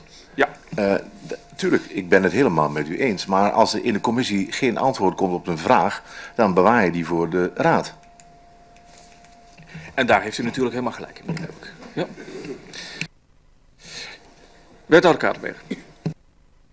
Ja, dank u voorzitter. Uh, om uh, maar te beginnen met het, uh, het bodemonderzoek. Kosten voor het bodemonderzoek, dat zit in het bedrag wat de Raad besteed, of, aangewezen heeft om te gaan bouwen. En dat is die 3 miljoen die u al noemde. En ik zit nu 12 jaar in de gemeentelijke politiek. En ik heb nog nooit meegemaakt dat de Raad een blanco cheque gaf aan, aan het college. Dus in dit geval is er ook geen sprake van een blanco cheque. En de financiën, dat is een ander onderwerp dan de, het bestemmingsplan. En dat hebben we ook apart behandeld. Dus ik zou dat er hier verder buiten uh, willen laten. Dan de parkeerdruk, het overloopgebied. Uh, voorgesteld wordt door het bureau om dat te regelen via een goede bewegwijzering. En dat wordt geregeld. En als u dat op korte termijn wilt, dan kan het ook nog op korte, korte termijn geregeld zijn. Nou, stemverklaring van de ChristenUnie, die is, uh, ik kan alleen maar zeggen dat die heel consequent is. tot zover in eerste instantie bij de reactie, voorzitter. Dank u wel, wethouder. Wie mag ik het woord geven? Meneer Leuwik. Ja, voorzitter, dank u wel. Ja, ik, ik, ik ben toch niet helemaal tevreden. Uh, want er, er, wordt toch duidelijk gezegd in het uh, stuk dat de financiële haalbaarheid van het plan niet in gevaar komt door eventueel bodemonderzoek. En dat wil ik toch wel graag uh, naar voren brengen nu, nu, omdat wij de financiële risico's niet weten, omdat er wat in de grond zit. Ja, kan zitten, er zit in de tussenlaag zitten wat, maar oké, dat hoeft dan niet een bezwaar te zijn. Maar uh, de financiële haalbaarheid van het plan mag dus niet in het gevaar komen door eventueel extra kosten. En dat wil ik toch graag van de verantwoordelijk wethouder wat graag horen. Dank u wel, meneer Leuwik. Ik kijk rond. Inderdaad zijn nog anderen in tweede termijn. Niets. Dan kom ik... Uh, wethouder van meneer Leuwik heeft u nog een tweede kans gegeven, gekregen. Dus... Ja. Nou, daarvoor meneer Leuwik nog een keer van... Uh, de, deze raad stelt kaders. Deze raad heeft 3 miljoen meegegeven voor het realiseren van een... Uh, uh, uitbreiding van een, eh, een sporthal. En met dat kader gaat het college aan het werk. En het is bij op dit moment niet bekend dat er op basis van wat veroorzaakt dan ook het uh, budget wordt overschreden. En als het budget wordt overschreden, dan zijn daar regels voor. En die regels die zullen wij nakomen. Dank u voorzitter. Dank u wel, wethouder Katerberg. kort maar krachtig. Dan breng ik nu het voorstel in stemming. Zijn er met de kanttekening dat de fractie van de ChristenUnie heeft tegengestemd. Zijn er andere fracties die behoefte hebben aan stemming? Geen stemming, dan is het voorstel aange aangenomen met de aantekening van de ChristenUnie dat zij hebben worden geacht te hebben tegengestemd. Dank u wel. Ik kom bij agenda punt 12, vaststelling van het beeldkwaliteitplan bedrijvenpark De Rotbrink. Wie mag ik daarover het woord geven? Ik ga even inventariseren. Meneer De Jonge. Meneer De Jonge, u heeft het woord.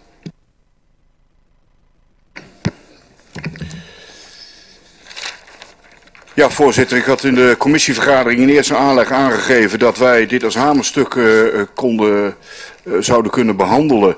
En later aangegeven dat we het gratis bespreekstuk wilden hebben. En dat had ermee te maken dat er wat ons betreft een, toch wel een klein verschil zit in het voorliggende besluit en de onderliggende stukken.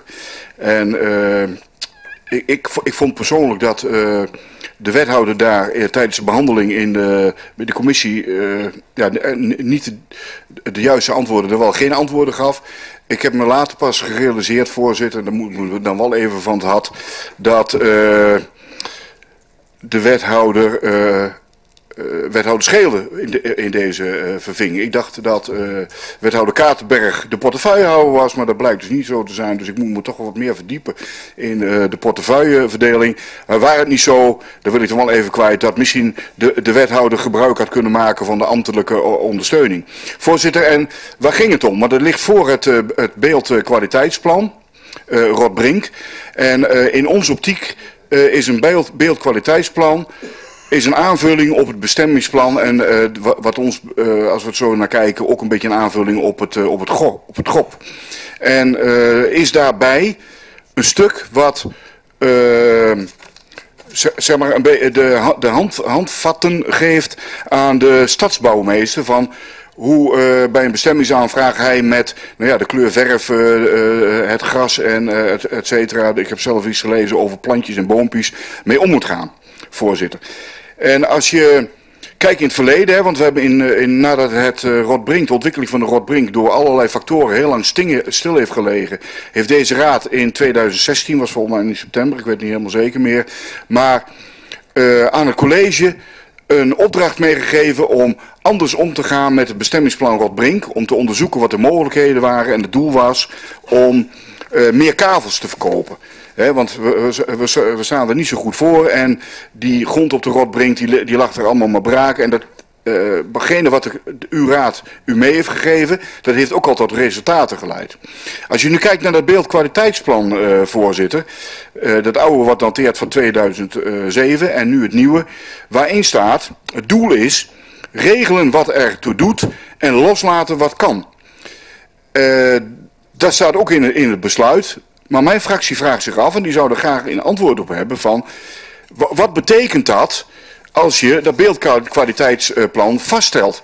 Want geef je dan de stadsbouwmeester de ruimte om te zeggen van je kunt uh, daar waar de aanvragen zijn, kun je uh, machineren, hè, kijken van of er mogelijkheden zijn of dat je het beeldkwaliteitsplan ontwijkt om toch wel wat meer uh, kavels te verkopen en aan de wens van de aanvragen te voldoen.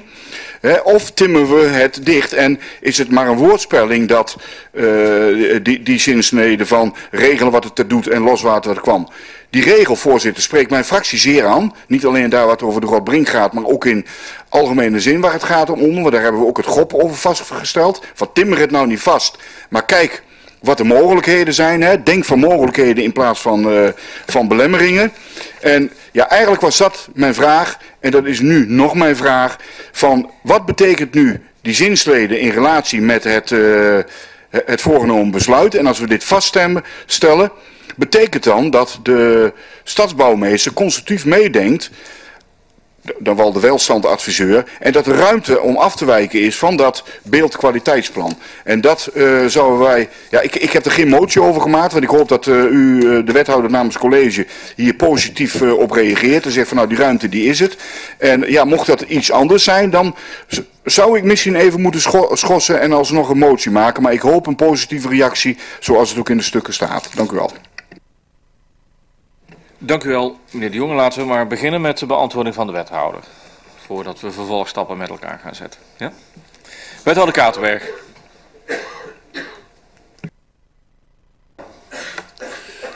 Ja, meneer de Jonge, van, daar zat volgens mij de vorige keer van mijn kant ook een beetje de verwarring van. Wat bedoelt hij nou precies? En uh, ik denk dat we er nou zijn van. Uh, u gaf toen aan van, ja, zijn de mogelijkheden die, die de Raad heeft aangegeven nog wel te realiseren? En dan zeg ik van, ja, dat soort dingen, dat leggen we vast in een bestemmingsplan. Wat kan er en wat mag er? En vervolgens zeggen we van, via het beeldkwaliteitsplan, hoe moet dat eruit zien? En nou is de kern van de opmerking regelen wat ertoe doet, is niet bedoeld om de zaak dicht te timmeren, maar om de zaak los te koppelen. En het advies van de stadsbouwmeester is een advies. En is niet leidend. Daar kunnen wij als college van afwijken. Tot zover mijn beantwoording, voorzitter. Dank u wel, wethouder Katerberg. De wethouder geeft ook de opening aan waar u om vroeg, geloof ik, meneer De Jonge. Maar dat is nu om dat af te wegen. Ja, ik, ik moet het wel even laten bezinken, dat ziet u ook, voorzitter. Want uh, ik, uh, dan de vraag aan u, want als er ruimte is voor het college om daarvan af te wijken, dan, ja, dan zou ik eigenlijk bijna de vraag stellen, die ga ik ook stellen, van gaat u daar ruimhartig uh, mee om? Hè? Want ik zou het ontzettend jammer vinden wanneer wij partijen afwijzen die zeg maar in plaats van een conifeer een beukenheg willen plaatsen, hè, of groene verf in plaats van rode verf. Kijk, de, de, wat in stuk staat als het gaat om een zichtlocatie die aan de Balkenweg is, en dan moet ik wel eerlijk zeggen, volgens mij heeft de buurman van D66 daar vorige keer in de commissie ook al iets over gezegd, Hè, van welke bomen er moeten staan terwijl we dezelfde bomen gekap, uh, gekapt hebben. Dus ik zoek een beetje in van waar u als college de ruimte pakt om er toch voor zorg te dragen dat we daar uh, verder kunnen ontwikkelen binnen de, uh, de vraagstelling die een aanvrager daar heeft. Meneer de wethouder. Ja, uh, om nou aan te geven van hoe ga je om met die ruimte. Ik kan alleen maar zeggen van er moet heel wat gebeuren. Willen, willen wij een, eh, een kans daar laten lopen. En hoe we dat dan invullen op basis van het beeldkwaliteitsplan en hoe we dat uh, oplossen met uh, de stadsbouwmeester, dat zal van geval tot geval bekeken worden.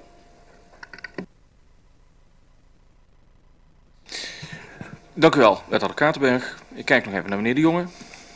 Is dat nou, tevredenheid? Voorzitter, ik, uh, ik vertrouw erop en uh, de beelden zijn vast. Dus mocht het niet zo zijn, dan kom ik er nog wel op terug. Ik vertrouw erop, mijn fractie vertrouwt erop dat u uh, daar ruimhartig mee omgaat. Goed om dat te horen. Meneer de Jonge, en dan breng ik in stemming de vaststelling van het beeldkwaliteitsplan Bedrijvenpark de Rotbrink, punt 12. Wens u daarover hoofdelijke stemming? Niet het geval. Ik stel vast dat u akkoord bent. Dan is dat beeldkwaliteitsplan vastgesteld. En feliciteer ik de wethouder. Dan komen we bij agendapunt 12a. Er zijn drie moties ingediend vanuit de Raad. En de eerste motie betreft parallelweg eh, rond de N340. En ik geef graag meneer De Wind het woord.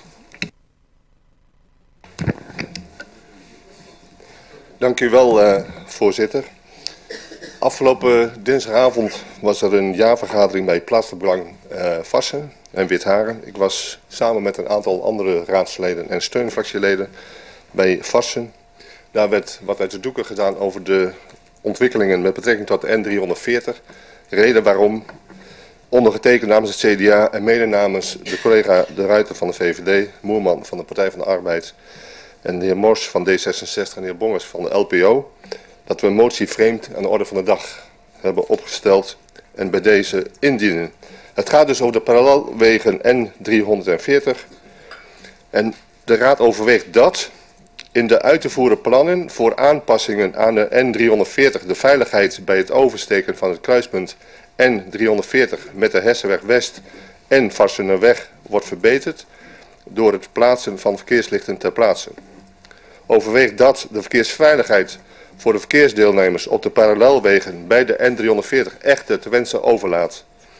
Doordat veel op- en afritten van de N340 verdwijnen, waardoor meer verkeer vaker en langer gebruik zal moeten maken van deze parallelwegen. Doordat dagelijks circa 600 naar school fietsende kinderen gebruik maken van deze parallelwegen. Omdat deze parallelwegen onvoldoende breed zijn om vrachtauto's en overig, met name landbouwverkeer, elkaar te laten passeren. Waardoor er allerlei manoeuvres uitgehaald moeten worden indien men elkaar moet passeren.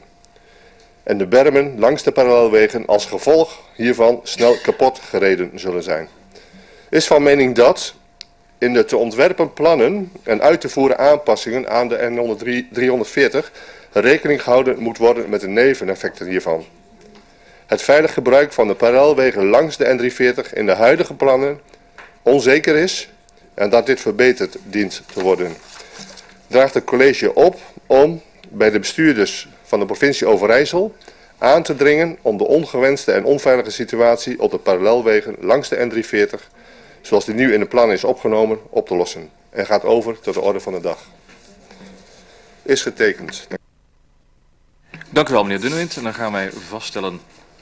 Yes, ik heb het getekende exemplaar gezien. Dank u wel, daarmee is hij ingediend. Ik kijk naar de andere fracties in de raad. Wie wenst daarover het woord? Meneer De Jonge. Andere fracties?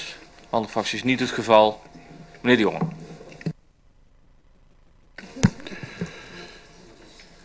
Ja, voorzitter, eh, dank u wel. Uh, op, op zich een, uh, een prachtige motie waar je eigenlijk niet, niet tegen kunt zijn. Maar ik, toen ik de motie vanmiddag binnenkreeg op e-mail, uh, ja goed, ik, ik, heb, ik was ook bij vast. Ik heb ook gehoord wat daar gezegd is. verraste me die motie toch wel, voorzitter. Want ik zit vanaf 2010 in, in deze raad. En vanaf die tijd is er gesproken over de situatie, de aanleg van de N340, 48 en, en verder voorzitter. En elders in de provincie over de N377 en de N35. Voorzitter, en wat, wat mij verbaast is dat, uh, nou ja, met uitzondering van de, uh, van de LPO, een coalitiepartij hun eigen college de opdracht geeft om iets te doen wat in mijn optiek tot het normale werk van het uh, college behoort. Want je, je, hebt burgerparticipatie, hè, en ik heb vanaf 2010 ook herhaaldelijk gehoord, zelfs in de periode 2010-2014, toen mevrouw Lagas ook nog wethouder was en dit in de portefeuille heb, had van heb nou vertrouwen in het college. Want wij hebben zeer goede contacten met, met de provincie. Voorzitter, en ik herinner me nog de vergadering van volgens mij een jaar geleden. Toen uw voorganger nog achter de tafel zat en het in zijn portefeuille had. Toen ging het over de oversteek bij Vassen. ook nou, een hartstikke goed initiatief was volgens mij ook van het CDA toen. de ondertunneling, ja dat zouden wij ook graag willen ja, wat is er van terecht gekomen? En ik hoor het, uh, uw voorganger Bas Verkerk nog zeggen van uh, wij doen ons best in de richting van de provincie om goed te, krijgen wat er voor om goed is over de N340 en verder. En ik heb er vertrouwen in, zei die woordelijk, dat de partijen die hier aan de tafel zitten, en die hebben dat ook aangegeven, een relatie hebben met de provinciale staten, D66, CDA, VVD en ChristenUnie. En volgens mij zitten diezelfde partijen ook nog in Den Haag aan het roeren als het gaat over verkeer, uh, et cetera. Dus ik heb er vertrouwen in dat uh, zij hun contacten gebruiken om dat uit te voeren. En vervolgens, voorzitter, ja, daar werden we ook bij die uh, onderdoorgang, worden we nu verrast, of verrast, nou ja, je kunt zeggen een, een, halve uh, beloning, komen er verkeerslichten. Dus ik vroeg me af, en ik vraag nu als college, van, van ziet u dit niet als het normale uh, werk van u wat u moet doen, hè? want de plaatsbelang heeft ook in participatieversies versies herhaaldelijk aangegeven van dat het een wens is. En... Ja, de tweede vraag van mij is in de richting, dan kijk ik even naar, naar, naar de coalitiepartners, krijgen we nog meer van dit soort dingen? Want we zijn er nog lang niet, want er moet nog iets gebeuren bij het Broekdijkje, er moet nog iets gebeuren uh, bij de Lindenberg op de Balkenweg. Gaan we nu continu moties maken, terwijl er al een besluitvorming in uh, uh, Zwolle genomen is, en gaan we continu het college weer opdracht geven voor iets wat een normale taak is, wat bij de werkzaamheden van het college behoort?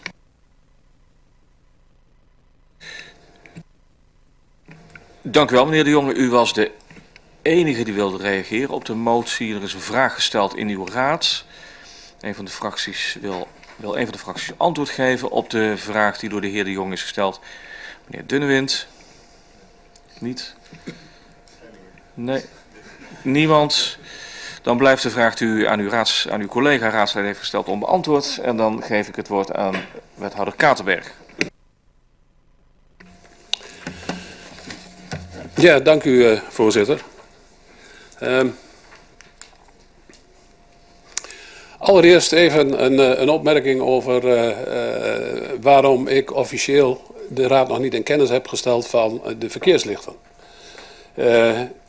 het PIP is vastgesteld door gedeputeerde, gedeputeerde staten. En er zat een communicatietraject aan en GS wilde eerst met een aantal mensen nog om tafel om mee te delen hoe uh, men omging met het PIP. En er is de afspraak gemaakt dat er ook een communicatietraject zou komen. En dat communicatietraject dat wordt morgen opgestart. Ik heb vandaag nog geprobeerd, om, uh, omdat ik uh, bericht kreeg van, van deze motie, nog geprobeerd om dat naar voren te halen. Zodat ook de raadsbrief die inmiddels over dit onderdeel is vastgesteld, vandaag nog verzonnen kan worden. Maar dat is jammer genoeg niet gelukt. Want uh, als je kijkt wat er op dit moment aan de hand is, dan zeg ik van inhoudelijk vind ik de motie wel aardig, alleen hij komt te vroeg. Want uh, de verbreding van de parallelwegen, die zit in het extra programma, in het optimalisatiepakket. En dat wordt wel meegenomen in de aanbesteding. Maar het is de vraag of de aannemer het kan realiseren. En wat dat betreft, van, uh, dus eigenlijk komt hij te vroeg, tenzij u de formulering wat aanpast.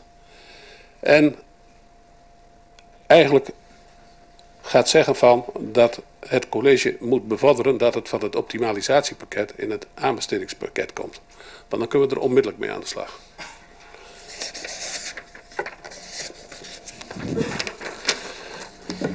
Wie Vanuit uw raad mag ik het woord geven, meneer Dunnewind. Ja, voorzitter, volgens mij uh, staat dat in de motie. Want als we bij is van mening dat... Er staat in dat het veilig gebruik van de parallel, parallelwegen langs de N340 in de huidige plannen onzeker is. En dat betekent dus dat het in het optimalisatiepakket zit. En dat dit verbeterd dient te worden. Dat betekent dat het eigenlijk naar het basispakket zou moeten. Dat is de strekking van die zin.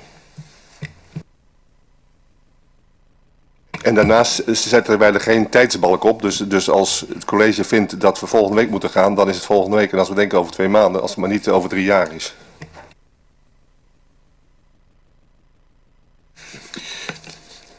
Oké, okay, dank u wel. Zijn er nog andere leden van de raad die willen reageren? Niet. Wethouder Kaatberg. U, u, u, moet wel de hele avond lopen naar dat spreekgestoel. Zullen we... Stap Ja, voorzitter. Als de indiener van mening is uh, uh, dat het duidelijk genoeg is zo, dan uh, nemen we hem over. Dank u wel. Het college neemt uw motie over. Dan hoeft u hem denk ik ook niet in stemming te brengen. Ja, meneer Bongers. Ja, voorzitter, ik neem aan dat bij het originele exemplaar LPO wat is overgenomen. Want het exemplaar wat het is uitgedeeld, daar ontbreekt... Oké. Okay. Doe een keer mee en dan staan we niet op. Ho, ho, ho, pas op. Mag ik zeggen, jij niet, hè? Pas op, als gaan we Jaan besteden. Meneer Bongers, ik heb uh, vastgesteld dat u heeft ondertekend namens de LPO. Ja? Oké, okay. dank u wel. Dan ga ik met u uh, flux door naar agenda punt uh, 12b. Dat is uh, de motie vreemd over het onderhoud van de gemeentelijke wegen. En mag ik daarvoor meneer Remmers het woord geven? Dank u wel, voorzitter. Alvorens de motie vreemd uh, voor te lezen, een kleine introductie. Um, de LPO heeft recentelijk onderzoek gedaan onder de inwoners betreffende het achterstallig onderhoud aan wandelpaden, fietspaden, bruggen en een aantal gemeentelijke wegen. En voorzitter, we zijn geschrokken van de uitkomsten. Er is veel ontevredenheid onder onze inwoners hierover. Een paar voorbeeldjes. De brug in het Dantepark. Takken en rommel op fietspaden. Het gekleurde asfalt op de Haarsweg. Je kan er bijna in verdwijnen. Een lantaarnpaal bij de Aldi die al heel lang kapot is omdat die omgereden is en niet gerepareerd wordt. Recentelijk nog een ingezonden brief in het Omme Nieuws van de heer De Jong... die met zijn rollator geen boodschappen kan doen omdat de stoep dat niet toelaat. En dinsdag in Witharen nog, ja, daar zaten wij... ging het nog over laaghangende takken... waar je al niet meer onderdoor kon fietsen tussen Omme en Witharen. Het zijn maar wat voorbeeldjes. En dat past niet bij Omme. Het is verkeersonveilig, maar past ook niet in het beeld... wat we willen neerzetten van toeristisch Omme. Waar we ook van geschrokken zijn, voorzitter, is dat we van diverse mensen daarbij doorkregen dat ze te horen kregen dat Omme er geen geld voor had om er iets aan te doen. En tot slot, en misschien schrokken we daar nog wel het ergste van, dat we van een aantal medewerkers te horen kregen dat ze vanuit de BOH wel erg veel ingezet worden op het grondgebied van Hardenberg. Het zal toch niet zo zijn dat Hardenberg wordt onderhouden met Ommens geld. Daarom, voorzitter, deze motie vreemd. We willen daarmee bereiken dat we op korte termijn en wel voor het toeristenseizoen Ommen weer veilig is en er picobello bij ligt. Ik ga hem nu voorlezen. De Raad van de gemeente Ommen overweegt dat. Uit een inventarisatie van de LPO is gebleken dat veel inwoners tevreden zijn, ontevreden zijn over de staat van onderhoud van veel gemeentelijke wegen, voetpaden, fietspaden en bruggen dat er hierdoor onveilige situaties ontstaan die onwenselijk zijn voor onze eigen inwoners en voor toeristen. Is van mening dat het van levensbelang is dat onveilige situaties in het verkeer zo snel mogelijk verholpen worden. En is van mening dat het een toeristische gemeente als Omme niet past om achterstallig onderhoud te hebben aan wegen, fietspaden en voetpaden. Verzoekt het college om ervoor te zorgen dat voor 1 juni 2018 een inventarisatie heeft plaatsgevonden van onveilige situaties. En dat voor diezelfde 1 juni 2018 al het achterstallig onderhoud en reparaties aan gemeentelijke wegen, voetpaden, fietspaden en bruggen zal zijn uitgevoerd. Zodat Omme voor de zomer weer klaar is voor het toeristenseizoen en plezierig en veilig verkeer weer mogelijk is. En gaat over tot de orde van de dag. Namens de fractie van de LPO, Dick Remmers.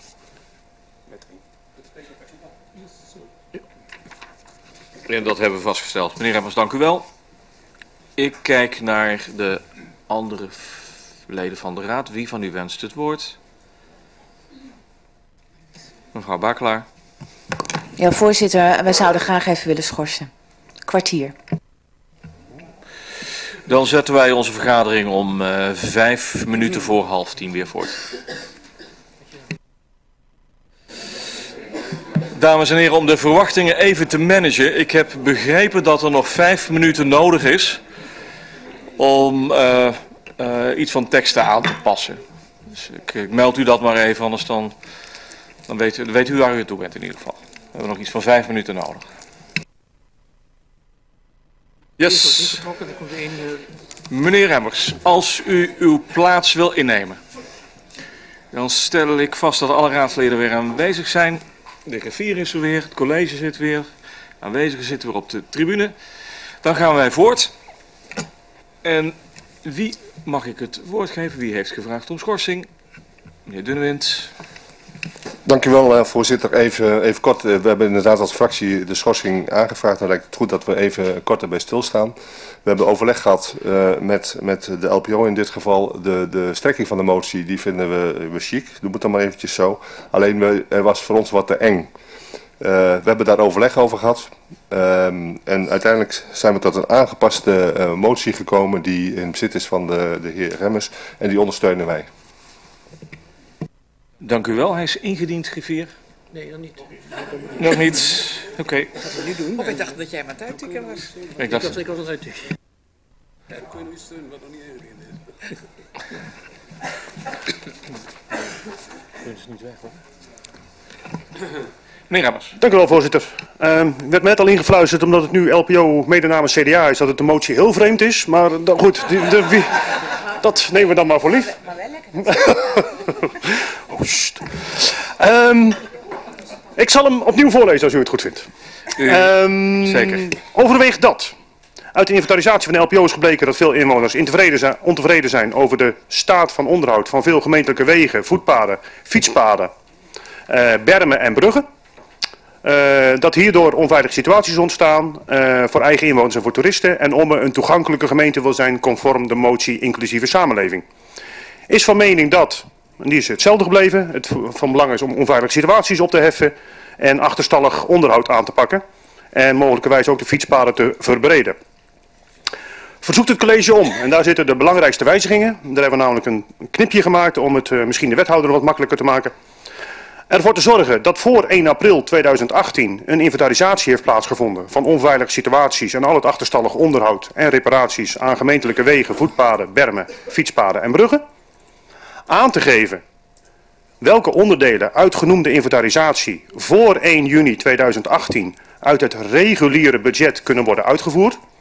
Zodat Ommen voor de zomer weer klaar is voor het toeristenseizoen en plezierig en veilig verkeer weer mogelijk is. En de in bullet 2 genoemde werkzaamheden dan uiteraard ook uit te voeren voor 1, januari, 1 juni 2018. En tot slot aan te geven welke onderdelen uit die genoemde inventarisatie voor 1 juni 2018 niet uit het reguliere budget kunnen worden uitgevoerd. En deze mee te nemen in de kadernota 2019. En gaat over tot de orde van de dag. Getekend zowel door de LPO als door het CDA.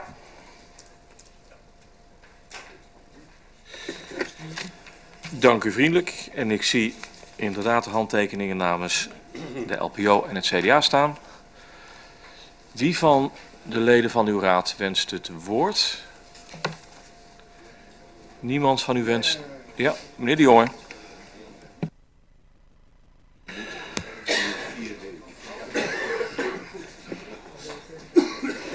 Meneer de Jonge, u heeft het woord. Ja, eh, vo- voorzitter. eh, ja, dit is een prachtige motie. Wij zullen hem ook ondersteunen, moet ik eerlijk zeggen. Alleen het verbaast mij wel dat bij diverse begrotingsbehandelingen is er door diverse fracties eh, op dit onderwerp al ingezoomd. En bij die inzooming heb ik het college eh, horen zeggen en verwijzen naar de IBOR. En eh, de, de plannen, hè, er staat voor mij ook in de meerjarenbegroting tot 2019, staan de plannen in ons geven van hoe de wegen onderhoud moeten worden. En eigenlijk zit mijn fractie wel met een beetje van, ehm, ja, hoe, hoe kijkt het college ernaar? Dat is natuurlijk een legitieme vraag. Van, eh, vo- voldoet het IBOR niet in de plannen die wij in de meerjarenbegroting hebben eh, vastgesteld? Of het tweede, is de uitvoer niet goed gelopen? Want ik deel met eh, de LPO dat het in, op bepaalde plekken ja, niet goed gesteld is met, met dit soort zaken. Dus de vraag aan uw college is van, past dit niet binnen de IBOR, dus de, de meerjarenbegroting 2000 tot 2019, of is de uitvoer niet, eh, niet correct geweest? Dank u wel, meneer de Jonge. Niemand uit uw raad. Meneer Mors. Zijn er nog anderen die na meneer Mors nog willen spreken? Meneer de Ruiter. Uitstekend. Dank u voorzitter. Misschien dat Kijk ik of er nog anderen willen spreken na meneer Mors. Niet. Meneer Mors, heeft u het woord.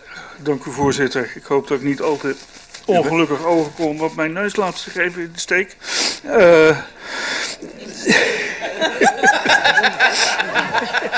Maar dat, dat, dat hij hoop ik begint, toch niet. Aan eh, alle kanten begint hij te bloeden.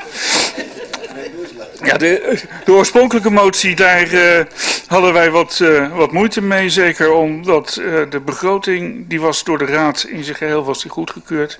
Daar zijn ook de plannen voor. Dat is in deze motie, de, de gewijzigde motie, is dat naar voren gekomen. Daar zijn we blij mee. En waar we uiteraard ook blij mee zijn met de, de aanpassing, dat is ook dat het wat verbreed is. En ook dat er wordt gekeken naar de voorrang van de fietsers. En met name ook de uitbreiding van eventuele fietspaden, waar mogelijkerwijs iets noodzakelijk is. Sorry. Ik eh, heb genoeg. ik, ga, ik ga zo weer zitten. Eh, dat, dat het ook daadwerkelijk een, eh, aangenaam wordt om te fietsen op onze fietspaden. Daar eh, wil ik het dan voorlopig even bij laten. Dank. Dank u wel, meneer Mors. Dan geef ik het woord aan wethouder Katerberg. Wethouder Katerberg, u heeft het woord. Ja, dank u, eh, voorzitter. Ja, wat er eh, eigenlijk hier gebeurt, dat is een beetje merkwaardig, eh, vind ik. Want de raad stelt kaders, het IBOR, meneer de Jonge. Er komt in april een, voorstel om de kunstwerken eh, voor de komende vier jaren eh, te gaan onderhouden. Daar mag u ook weer de kader stellen. En nou komt er één keer eh, uit de lucht vallen een verhaal van dit is niet goed, dat is niet goed. Nou, ik erken eh, volmondig dat het allemaal niet deugt. Maar ik was ook in Witharen. En als er dan hier vanavond gezegd wordt, eh, allemaal laaghangende takken op het fietspad van Witharen naar jullie baas, dan zeg ik van, er zijn maar, is maar heel weinig bebouwing, van boom, of, eh, er zijn maar heel weinig bomen op dat stukje fietspad. Dus wij moeten er ook geen karikatuur van maken.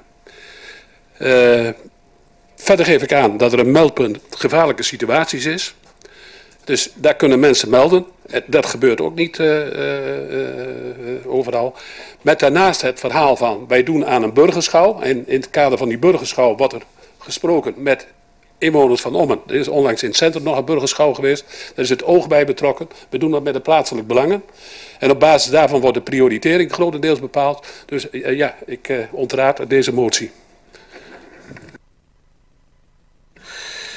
Dank u wel, wethouder. De wethouder ontraadt de motie. Wie van u mag ik het woord geven? Meneer De Jonge. Ja, voorzitter, als ik het dan go- goed beluister, dan zegt de wethouder dat hij eh, voldoet aan datgene wat we af hebben gesproken in de begroting en bij andere onderwerpen. En dat is namelijk eh, continuering van het beheer en onderhoud. En eh, de beleidskeuzes zijn in 2013 vastgesteld en die worden uitgevoerd, ho- hoor ik de wethouder zeggen. Ehm ja, ik, ik- ben, ik ben want eigenlijk deel ik ook wel een beetje wat, wat het college zegt. Want ik ben dan ook zeer verrast dat er vanuit uit deze raad, want natuurlijk herken ik, hè, want we hebben als eh, VOV ook al aan een aantal keer schriftelijke vragen over een aantal situaties gesteld, waaronder de bruggen. Ehm, du- dus wij erkennen wel een paar punten en ik hoop dat hetgene wat de wethouder zegt, dat dat correct is, dat eh de nameldingen, eh, dat er co- eh, concreet op, op eh, geanticipeerd wordt.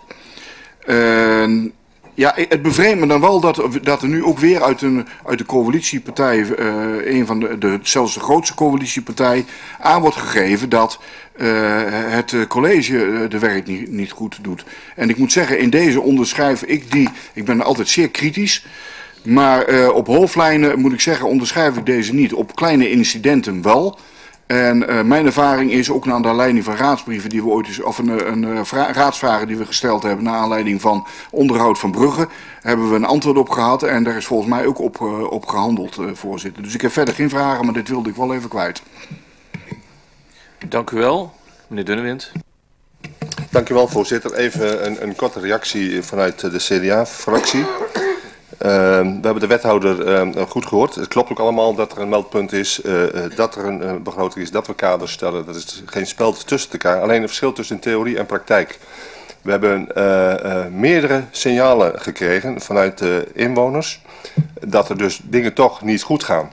En eh, de rappel is dan meer dat we ook daadwerkelijk de vinger aan de pols willen houden, dat er ook daadwerkelijk wat gebeurt. En dat is uiteindelijk zeg maar, waar, het, eh, waar het ons om te doen is in die zin. En als het dan uiteindelijk zeg maar, eh, resulteert in een stuk zoals dat nu voor ligt, dan kunnen wij dan eh, prima mee uit de voeten. Dank u wel, voorzitter. Voorzitter, mag ik een interruptie plegen? Want ik hoor mijn buurman zeggen dat er, dat er ook bij het CDA een onderzoek gedaan is en reacties zijn binnengekomen.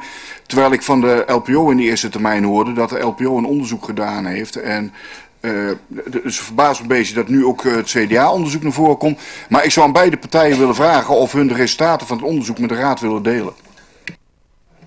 Meneer Dunnewind.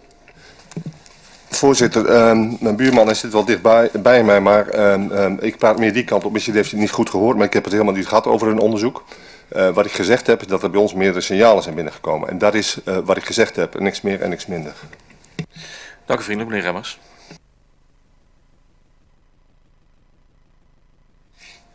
Dank u wel, voorzitter. Eh, het onderzoek komt inderdaad bij ons vandaan. Wij hebben de oproep gedaan eh, in de krant. Daar hebben we buitengewoon veel reacties op gekregen. Ehm, en we snappen het beleid zoals de, de wethouder het uitlegt. Alleen het is inderdaad verschil tussen theorie en praktijk. Ik heb in eh, mijn inleidend verhaal bewust al een aantal voorbeelden genoemd. Ik kan er nog wel wat herhalen. De foto van de heer Bongers op het Dantepark hebben we hier al eerder besproken.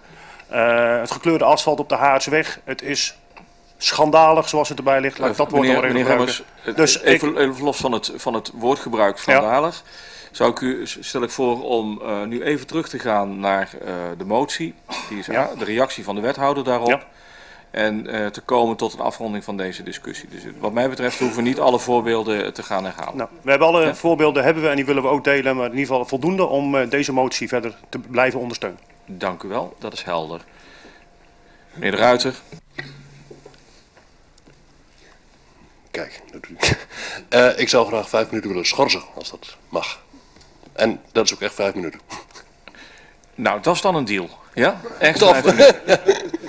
Dan gaan wij voort om twee minuten over tien. Ja?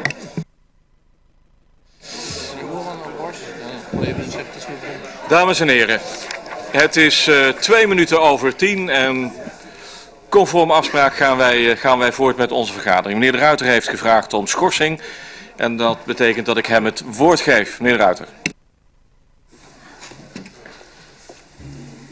Voorzitter, dank u wel. Ehm, de beantwoording van de portefeuillehouder gehoord hebbend, eh, putten wij voldoende vertrouwen eh, in de voorgang van besproken materie. Hebben niet echt de indruk dat deze motie nou de zaak bespoedigt en of verbetert. Zullen derhalve deze motie niet steunen. Dank u wel. Dank u vriendelijk. Meneer de Ruiter was een stemverklaring aan de voorkant. Wens nog iemand anders het woord en dan ga ik meneer Van der Moren. Ook eh, wij, meneer de voorzitter, willen een, een eh, reactie geven op deze motie. Want de inhoud op zich eh, is eh, ons sympathiek genoeg. Alleen hebben wij de beantwoording van de wethouder ook genoemd. En waar de ChristenUnie voor op wil passen. Om niet door het aannemen van deze motie de, de kans te lopen dat dit als een soort motie van wantrouwen ten opzichte van de uitspraken van de wethouder wordt, wordt meegemaakt. Dus wij zullen deze motie, nogmaals, hoe sympathiek van inhoud dan ook, niet steunen. En geven het college een kans om te doen wat er is gezegd. Dank u wel meneer Van der Moren. Dan denk ik anderen vanuit uw raad. Meneer Mors. Uiteraard hebben wij ook, meneer de voorzitter, eh, de portefeuillehouder gehoord. En ook eh, nou, in, de, in april komt het weer op de agenda. En, eh, wij, wij vinden echt wat hierin staat heel erg belangrijk. Met name het fietsverkeer. Alleen de motie als zodanig is, denk ik, eh, denken wij, eh, overbodig. Dank u wel. Dan Voorzitter. Meneer Moerman. Als ze toch eh, al een stemverklaring toe zijn, dan wil ik die wel graag geven. Ehm, ik heb ook de, eh, de beantwoording van het college gehoord en daar kan ik mij inderdaad achter scharen. Het is een sympathieke motie. Eh, maar ik eh, vind de beantwoording van het college inderdaad eh, geheel juist. En daar, daarom eh, ga ik deze motie niet steunen. Dank u vriendelijk. Ja, voorzitter, als we toch met stemverklaringen bezig zijn. Want, ja, ik, ik, ik- ik heb nog even zitten zoeken, hè, want wij zijn eh, als gemeenteraad akkoord gegaan met, eh daar hebben we vastgesteld met de IBOR. Eh, nogmaals, ik ga ervan uit dat dat correct is uh, uitgevoerd. Ik vertrouw erop dat, en, en ook met de signalen die, die hier juist aan zijn afgegeven, dat het college accuraat reageert op incidenten. En misschien ook nog even kan kijken naar de incidenten die genoemd zijn. In, in deze vind ik dat, vinden wij, mijn fractie, dat de kaders eh, uitgevoerd zijn die we u hebben meegegeven. En als andere fracties van mening zijn dat die kaders niet naar juist uit, eh, eh, uitgevoerd zijn, dan zien wij dat als motie van wantrouwen in de richting van de uitvoertaken die wij u als college hebben meegegeven. En in deze, we hebben wel eens voor andere zaken motie van wantrouwen ingediend. Maar in deze ondersteunen we datgene wat de wethouder eh, aangeeft en zullen we tegen de motie stemmen.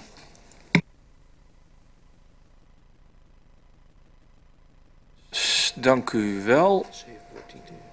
Anderen, want we zijn, eh, ik- stel wel vast, we zijn al stemverklaringen aan het afleggen. Eh, Maar ik heb nog niet gevraagd aan de eh, indieners of zij de motie in stemming willen brengen. Ja. U wilt er, ik, heb ik gevraagd of ze... Nee, ik heb nog niet gevraagd of u een stemming wil brengen. Zover zijn we nog niet. Dat, dat weet ik meestal nog wel of ik dat gedaan heb. U wenst hoofdelijk. Ik denk dat het goed is als de, want ook in tweede termijn is het gebruikt dat het college nog reageert. Dus ik wil wel graag de wethouder gelegenheid geven om te reageren.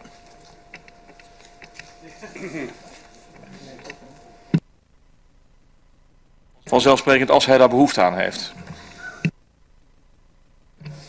Nou, voorzitter, ik heb er geen behoefte meer aan van. Maar, eh, ik, eh, er is gevraagd om mogelijke stemming, dus ik vraag u gewoon om de vergadering verder eh, te leiden. Dank u wel. Dan gaan we, waar starten wij? Gewoon boven, alfabetische volgorde. Dan Nee. noteer ik het hier.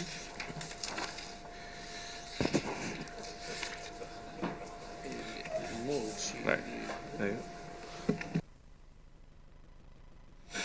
Oké. Dan ga ik. eh, want het is zeer ongebruikelijk om dit te doen. Dan gaan wij netjes de commissie of de raad langs.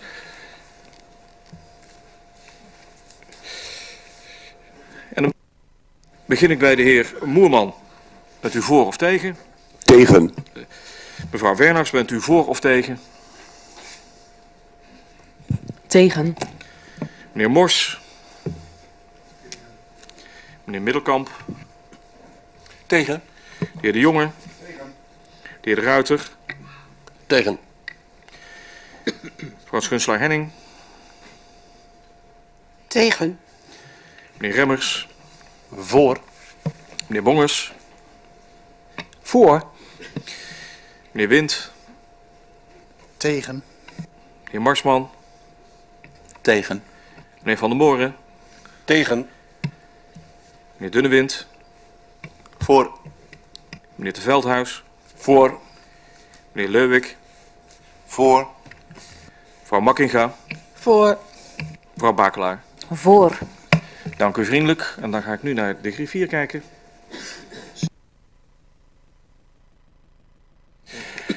Er zijn zeven stemmen voor deze motie uitgebracht, tien stemmen tegen en daarmee is de motie verworpen. Gaan wij door naar het volgende agendapunt. Dat is agendapunt 12c. En dat is een motie ingediend door de LPO betreffende de tijdelijke plaatsing van een toiletunit de haven. En ik geef het woord aan meneer Bongers. Wilt u achter het spreekstoel plaatsnemen? Ja, dank u wel. Voorzitter, ik zal, eh, nou, ik zal, ik zal het kort eh, proberen te houden. We hebben eh, al eerder aandacht gevraagd voor eh, een extra toiletunit. Of niet wij, maar vooral de, de watersportvereniging voor een extra toilet doucheunit op de, op de prachtige haven die we hebben. Ik heb nog even na proberen te kijken hoe lang we die prachtige haven al hebben. En een, een van de klossies heb ik denk ik te kunnen achterhalen dat hij in 2015 gereed is gekomen. En we hebben toen ook prachtige eh, opening gehad. En dan zouden de verdere afwerking, dat zou op korte termijn volgen. Dus dat gaan we dan ook maar doen. Voorzitter, eh, ik denk dat het onderwerp eh, genoegzaam bekend is. En ik denk dat ik gewoon de motie eh, vreemd voorlees. Daar nodig ik u graag toe uit, meneer Goed. De Raad van de Gemeente Ommen, in een vergadering bijeen op donderdag 22 februari 2018, overweegt dat Ommen sinds een aantal jaren beschikt over een prachtige haven aan de Vecht. Hier wordt dan ook volop en dankbaar gebruik van gemaakt. Echter, de havenfaciliteiten zijn nog niet af. Het ontbreekt nog aan voldoende permanente douche- en toiletruimte. Watersportvereniging De Vechtstreek is al jaren in afwachting van een definitieve planologische invulling door de gemeente Ommen. Helaas tot nu toe zonder resultaat. Na eerdere vragen van LPO is gebleken dat er voor de komend toeristisch seizoen, toeristisch vaarseizoen er nog geen definitieve oplossing komt. Is van mening dat om de gasten toch een fatsoenlijke douche- en toiletruimte te kunnen bieden, een extra tijdelijke unit naast het bestaande gewenst is. Er voor een tijdelijke plaatsing geen enkel probleem is met de bestaande vergunning. Verzoekt het college om voor het toeristisch seizoen 2018 toestemming te verlenen aan de watersportvereniging De Verstreek voor een tijdelijke plaatsing van de douche- en toiletruimte. En samen met de watersportvereniging De Verstreek een tijdelijke plek te bepalen. En gaat over tot orde van dag, is getekend LGM Bongens, fractievoorzitter LPO. Meneer Bongers, dank u wel. En hij is ondertekend, daarmee ingediend. Ik ga even inventariseren wie van u het woord wenst te voeren. Meneer Leuwik, meneer De Jonge. Meneer Leuwik en meneer De Jonge. Kreeg meneer Leuwik het woord. Dank u wel, voorzitter. Ja, je wordt uitgedeeld, maar wij, hebben, eh, wij vinden het in eerste instantie eh, best wel een, eh, een goed voorstel. Want we kennen de problematiek inderdaad. Maar we hadden graag één ding toegevoegd dan willen hebben. En dat is het, dat, tenminste, ja, dat is dan. Eh, wij, zouden het ook graag zien als een voorziening eh, die voor iedereen toegankelijk zou kunnen zijn. Eh, dus als het mogelijk zou kunnen zijn, dan een graag een, een beetje een verbreding. Dat inderdaad toilet- toiletvoorzieningen ook toegankelijk zijn voor alle mensen. Dus en toerisme en bewoners. Dat zou dan voor ons een goed toevoeg, goede toevoeging zijn. Vraag aan. Ja, Dank u vriendelijk, meneer Leuwik. Via, via de voorzitter aan Leeuwke. Ik Via de voorzitter. Aan meneer Zo, eh, zo werkt dat, meneer Leuwik. meneer De Jonge.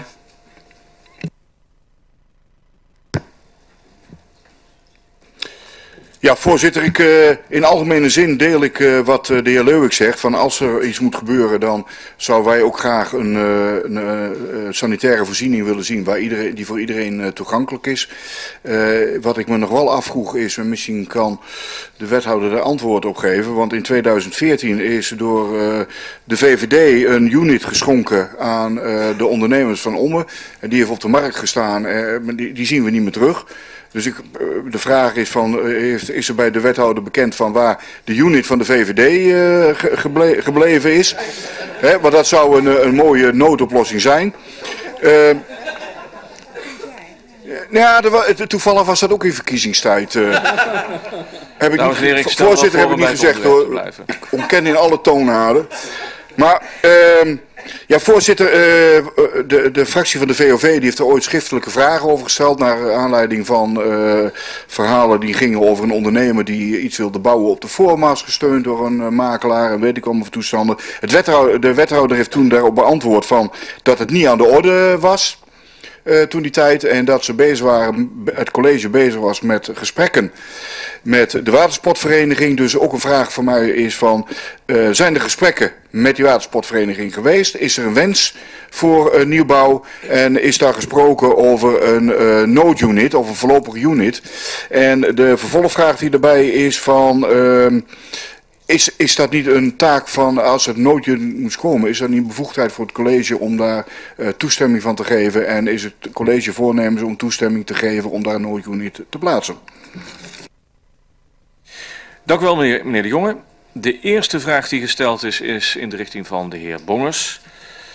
En ik, we hebben het niet even over de formulering, maar de vraag die gesteld is, zowel door meneer Leuwek als meneer De Jonge, is wilt u de motie uitbreiden? En u kunt op uw plaats blijven zitten.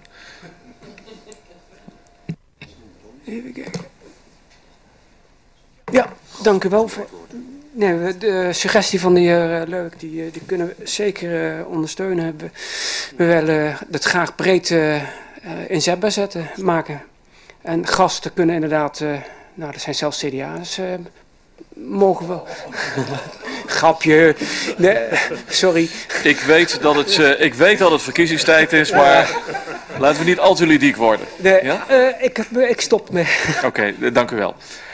Oké, u heeft aangegeven, en dan is het vraagstuk naar de formulering nog, dat u bereid bent om de motie uit te breiden. Dus dan zouden we daarvoor moeten schorsen dadelijk. Hebben we inmiddels wat ervaring mee opgebouwd. Dus volgens mij gaat dat wel lukken. Maar voor we dat doen, ga ik het woord geven aan wethouder Lagas om vanuit het college te reageren. Eh excuus, excuus meneer Wind, excuus wethouder. Ik, ik, heb, ik, ik ben te weinig naar rechts afgeweken, meneer Wind. Ik geef u graag het woord. Voorzitter, dank u wel.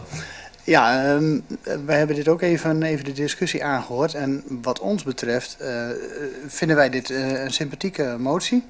Maar ehm, eh, wij vinden wel dat het inderdaad sowieso een fatsoenlijke unit dan moet zijn. Want ja, we willen toch niet een verrommeling van de openbare ruimte. Want als je praat over een tijdelijke unit, dan kan dat soms een stukje verrommeling geven.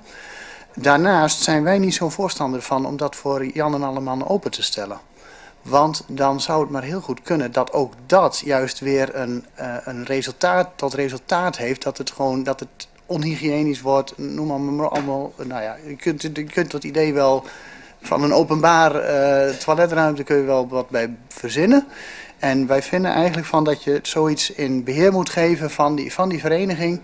En laat die dan gewoon zorgen dat het er goed en netjes bij ligt. En dan ook gewoon voor de mensen die daar in de haven aanleggen. En dat die daarvan gebruik kunnen maken. Want anders zijn we bang dat het gewoon een, een verrommeling geeft.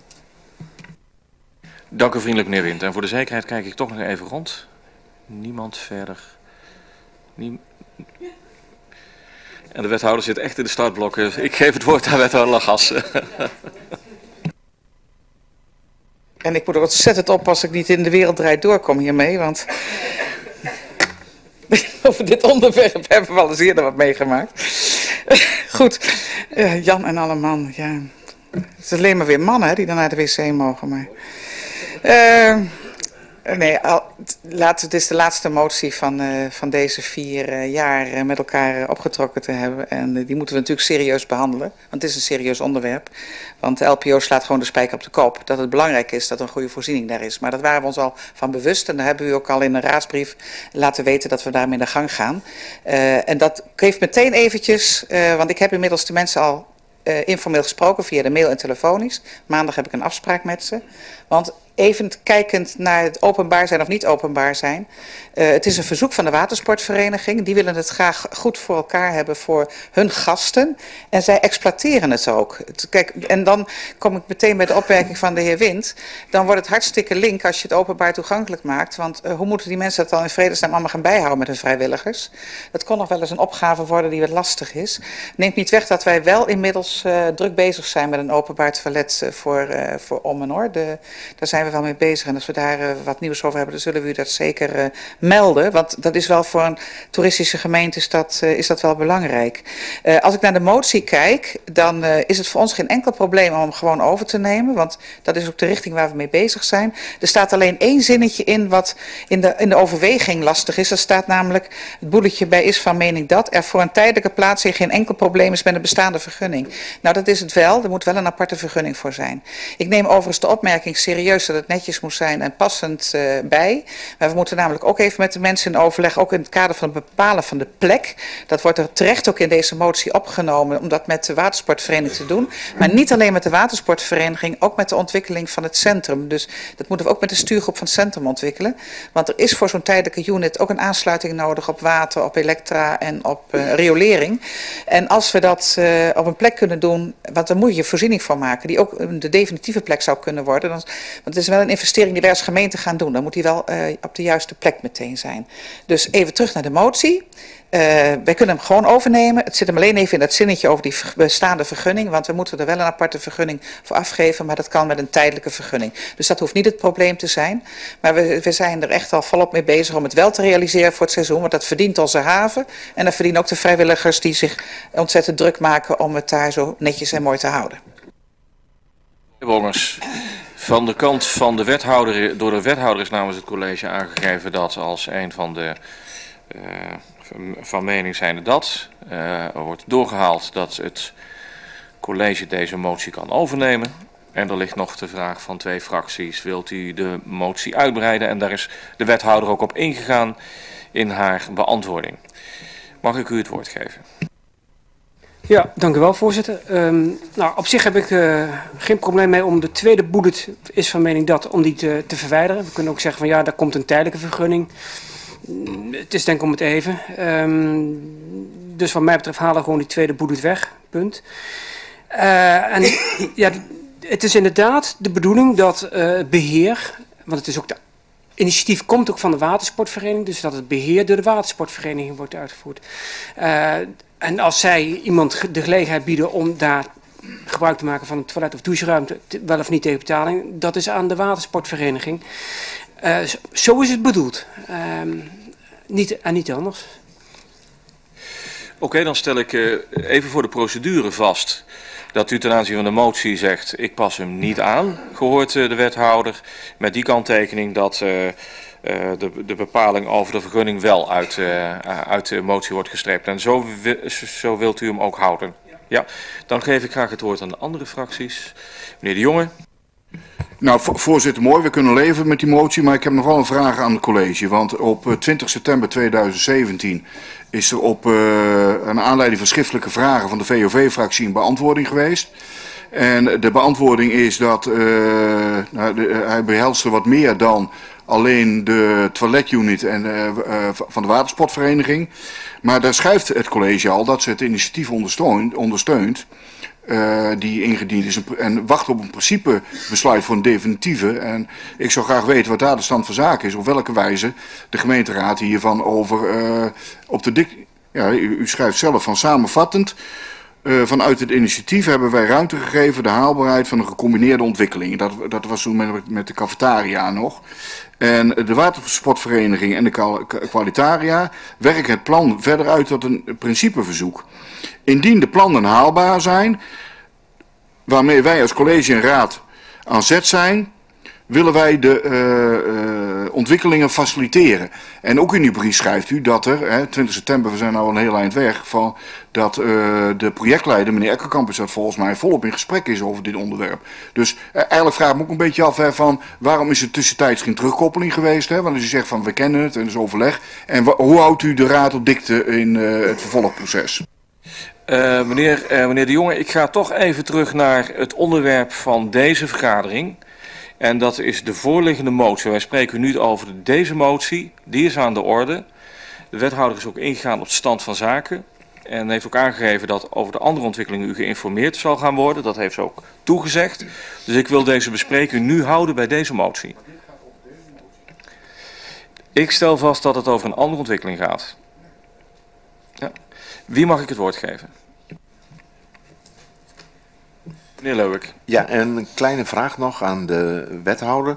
Eh, dus heb ik het goed gehoord dat u zegt voor de zomer, voor, voor het zomer, voor de zomer staat dat openbaar toiletten.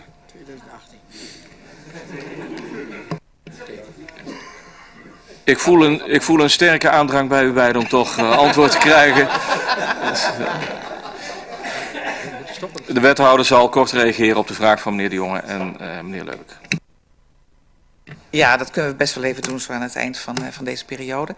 Ehm, dat is altijd lastig als je met ondernemers te maken hebt. Die, eh, op het moment dat zij vinden dat de zaken naar buiten kunnen, dan is de regie aan hen. En eh, op dat moment kan ik ook pas antwoord geven op vragen die terecht door de heer De Jong gesteld worden. Maar ook door de heer Leuwik. Maar neemt u maar van mij aan dat het voor de zomer nog niet klaar is. Dus en dat, om die reden zei ik ook van, wij kijken er naar het college wel naar of we daar zelf nog stappen in moeten nemen voor de komende zomer. En dan zullen we dat zeker met u delen.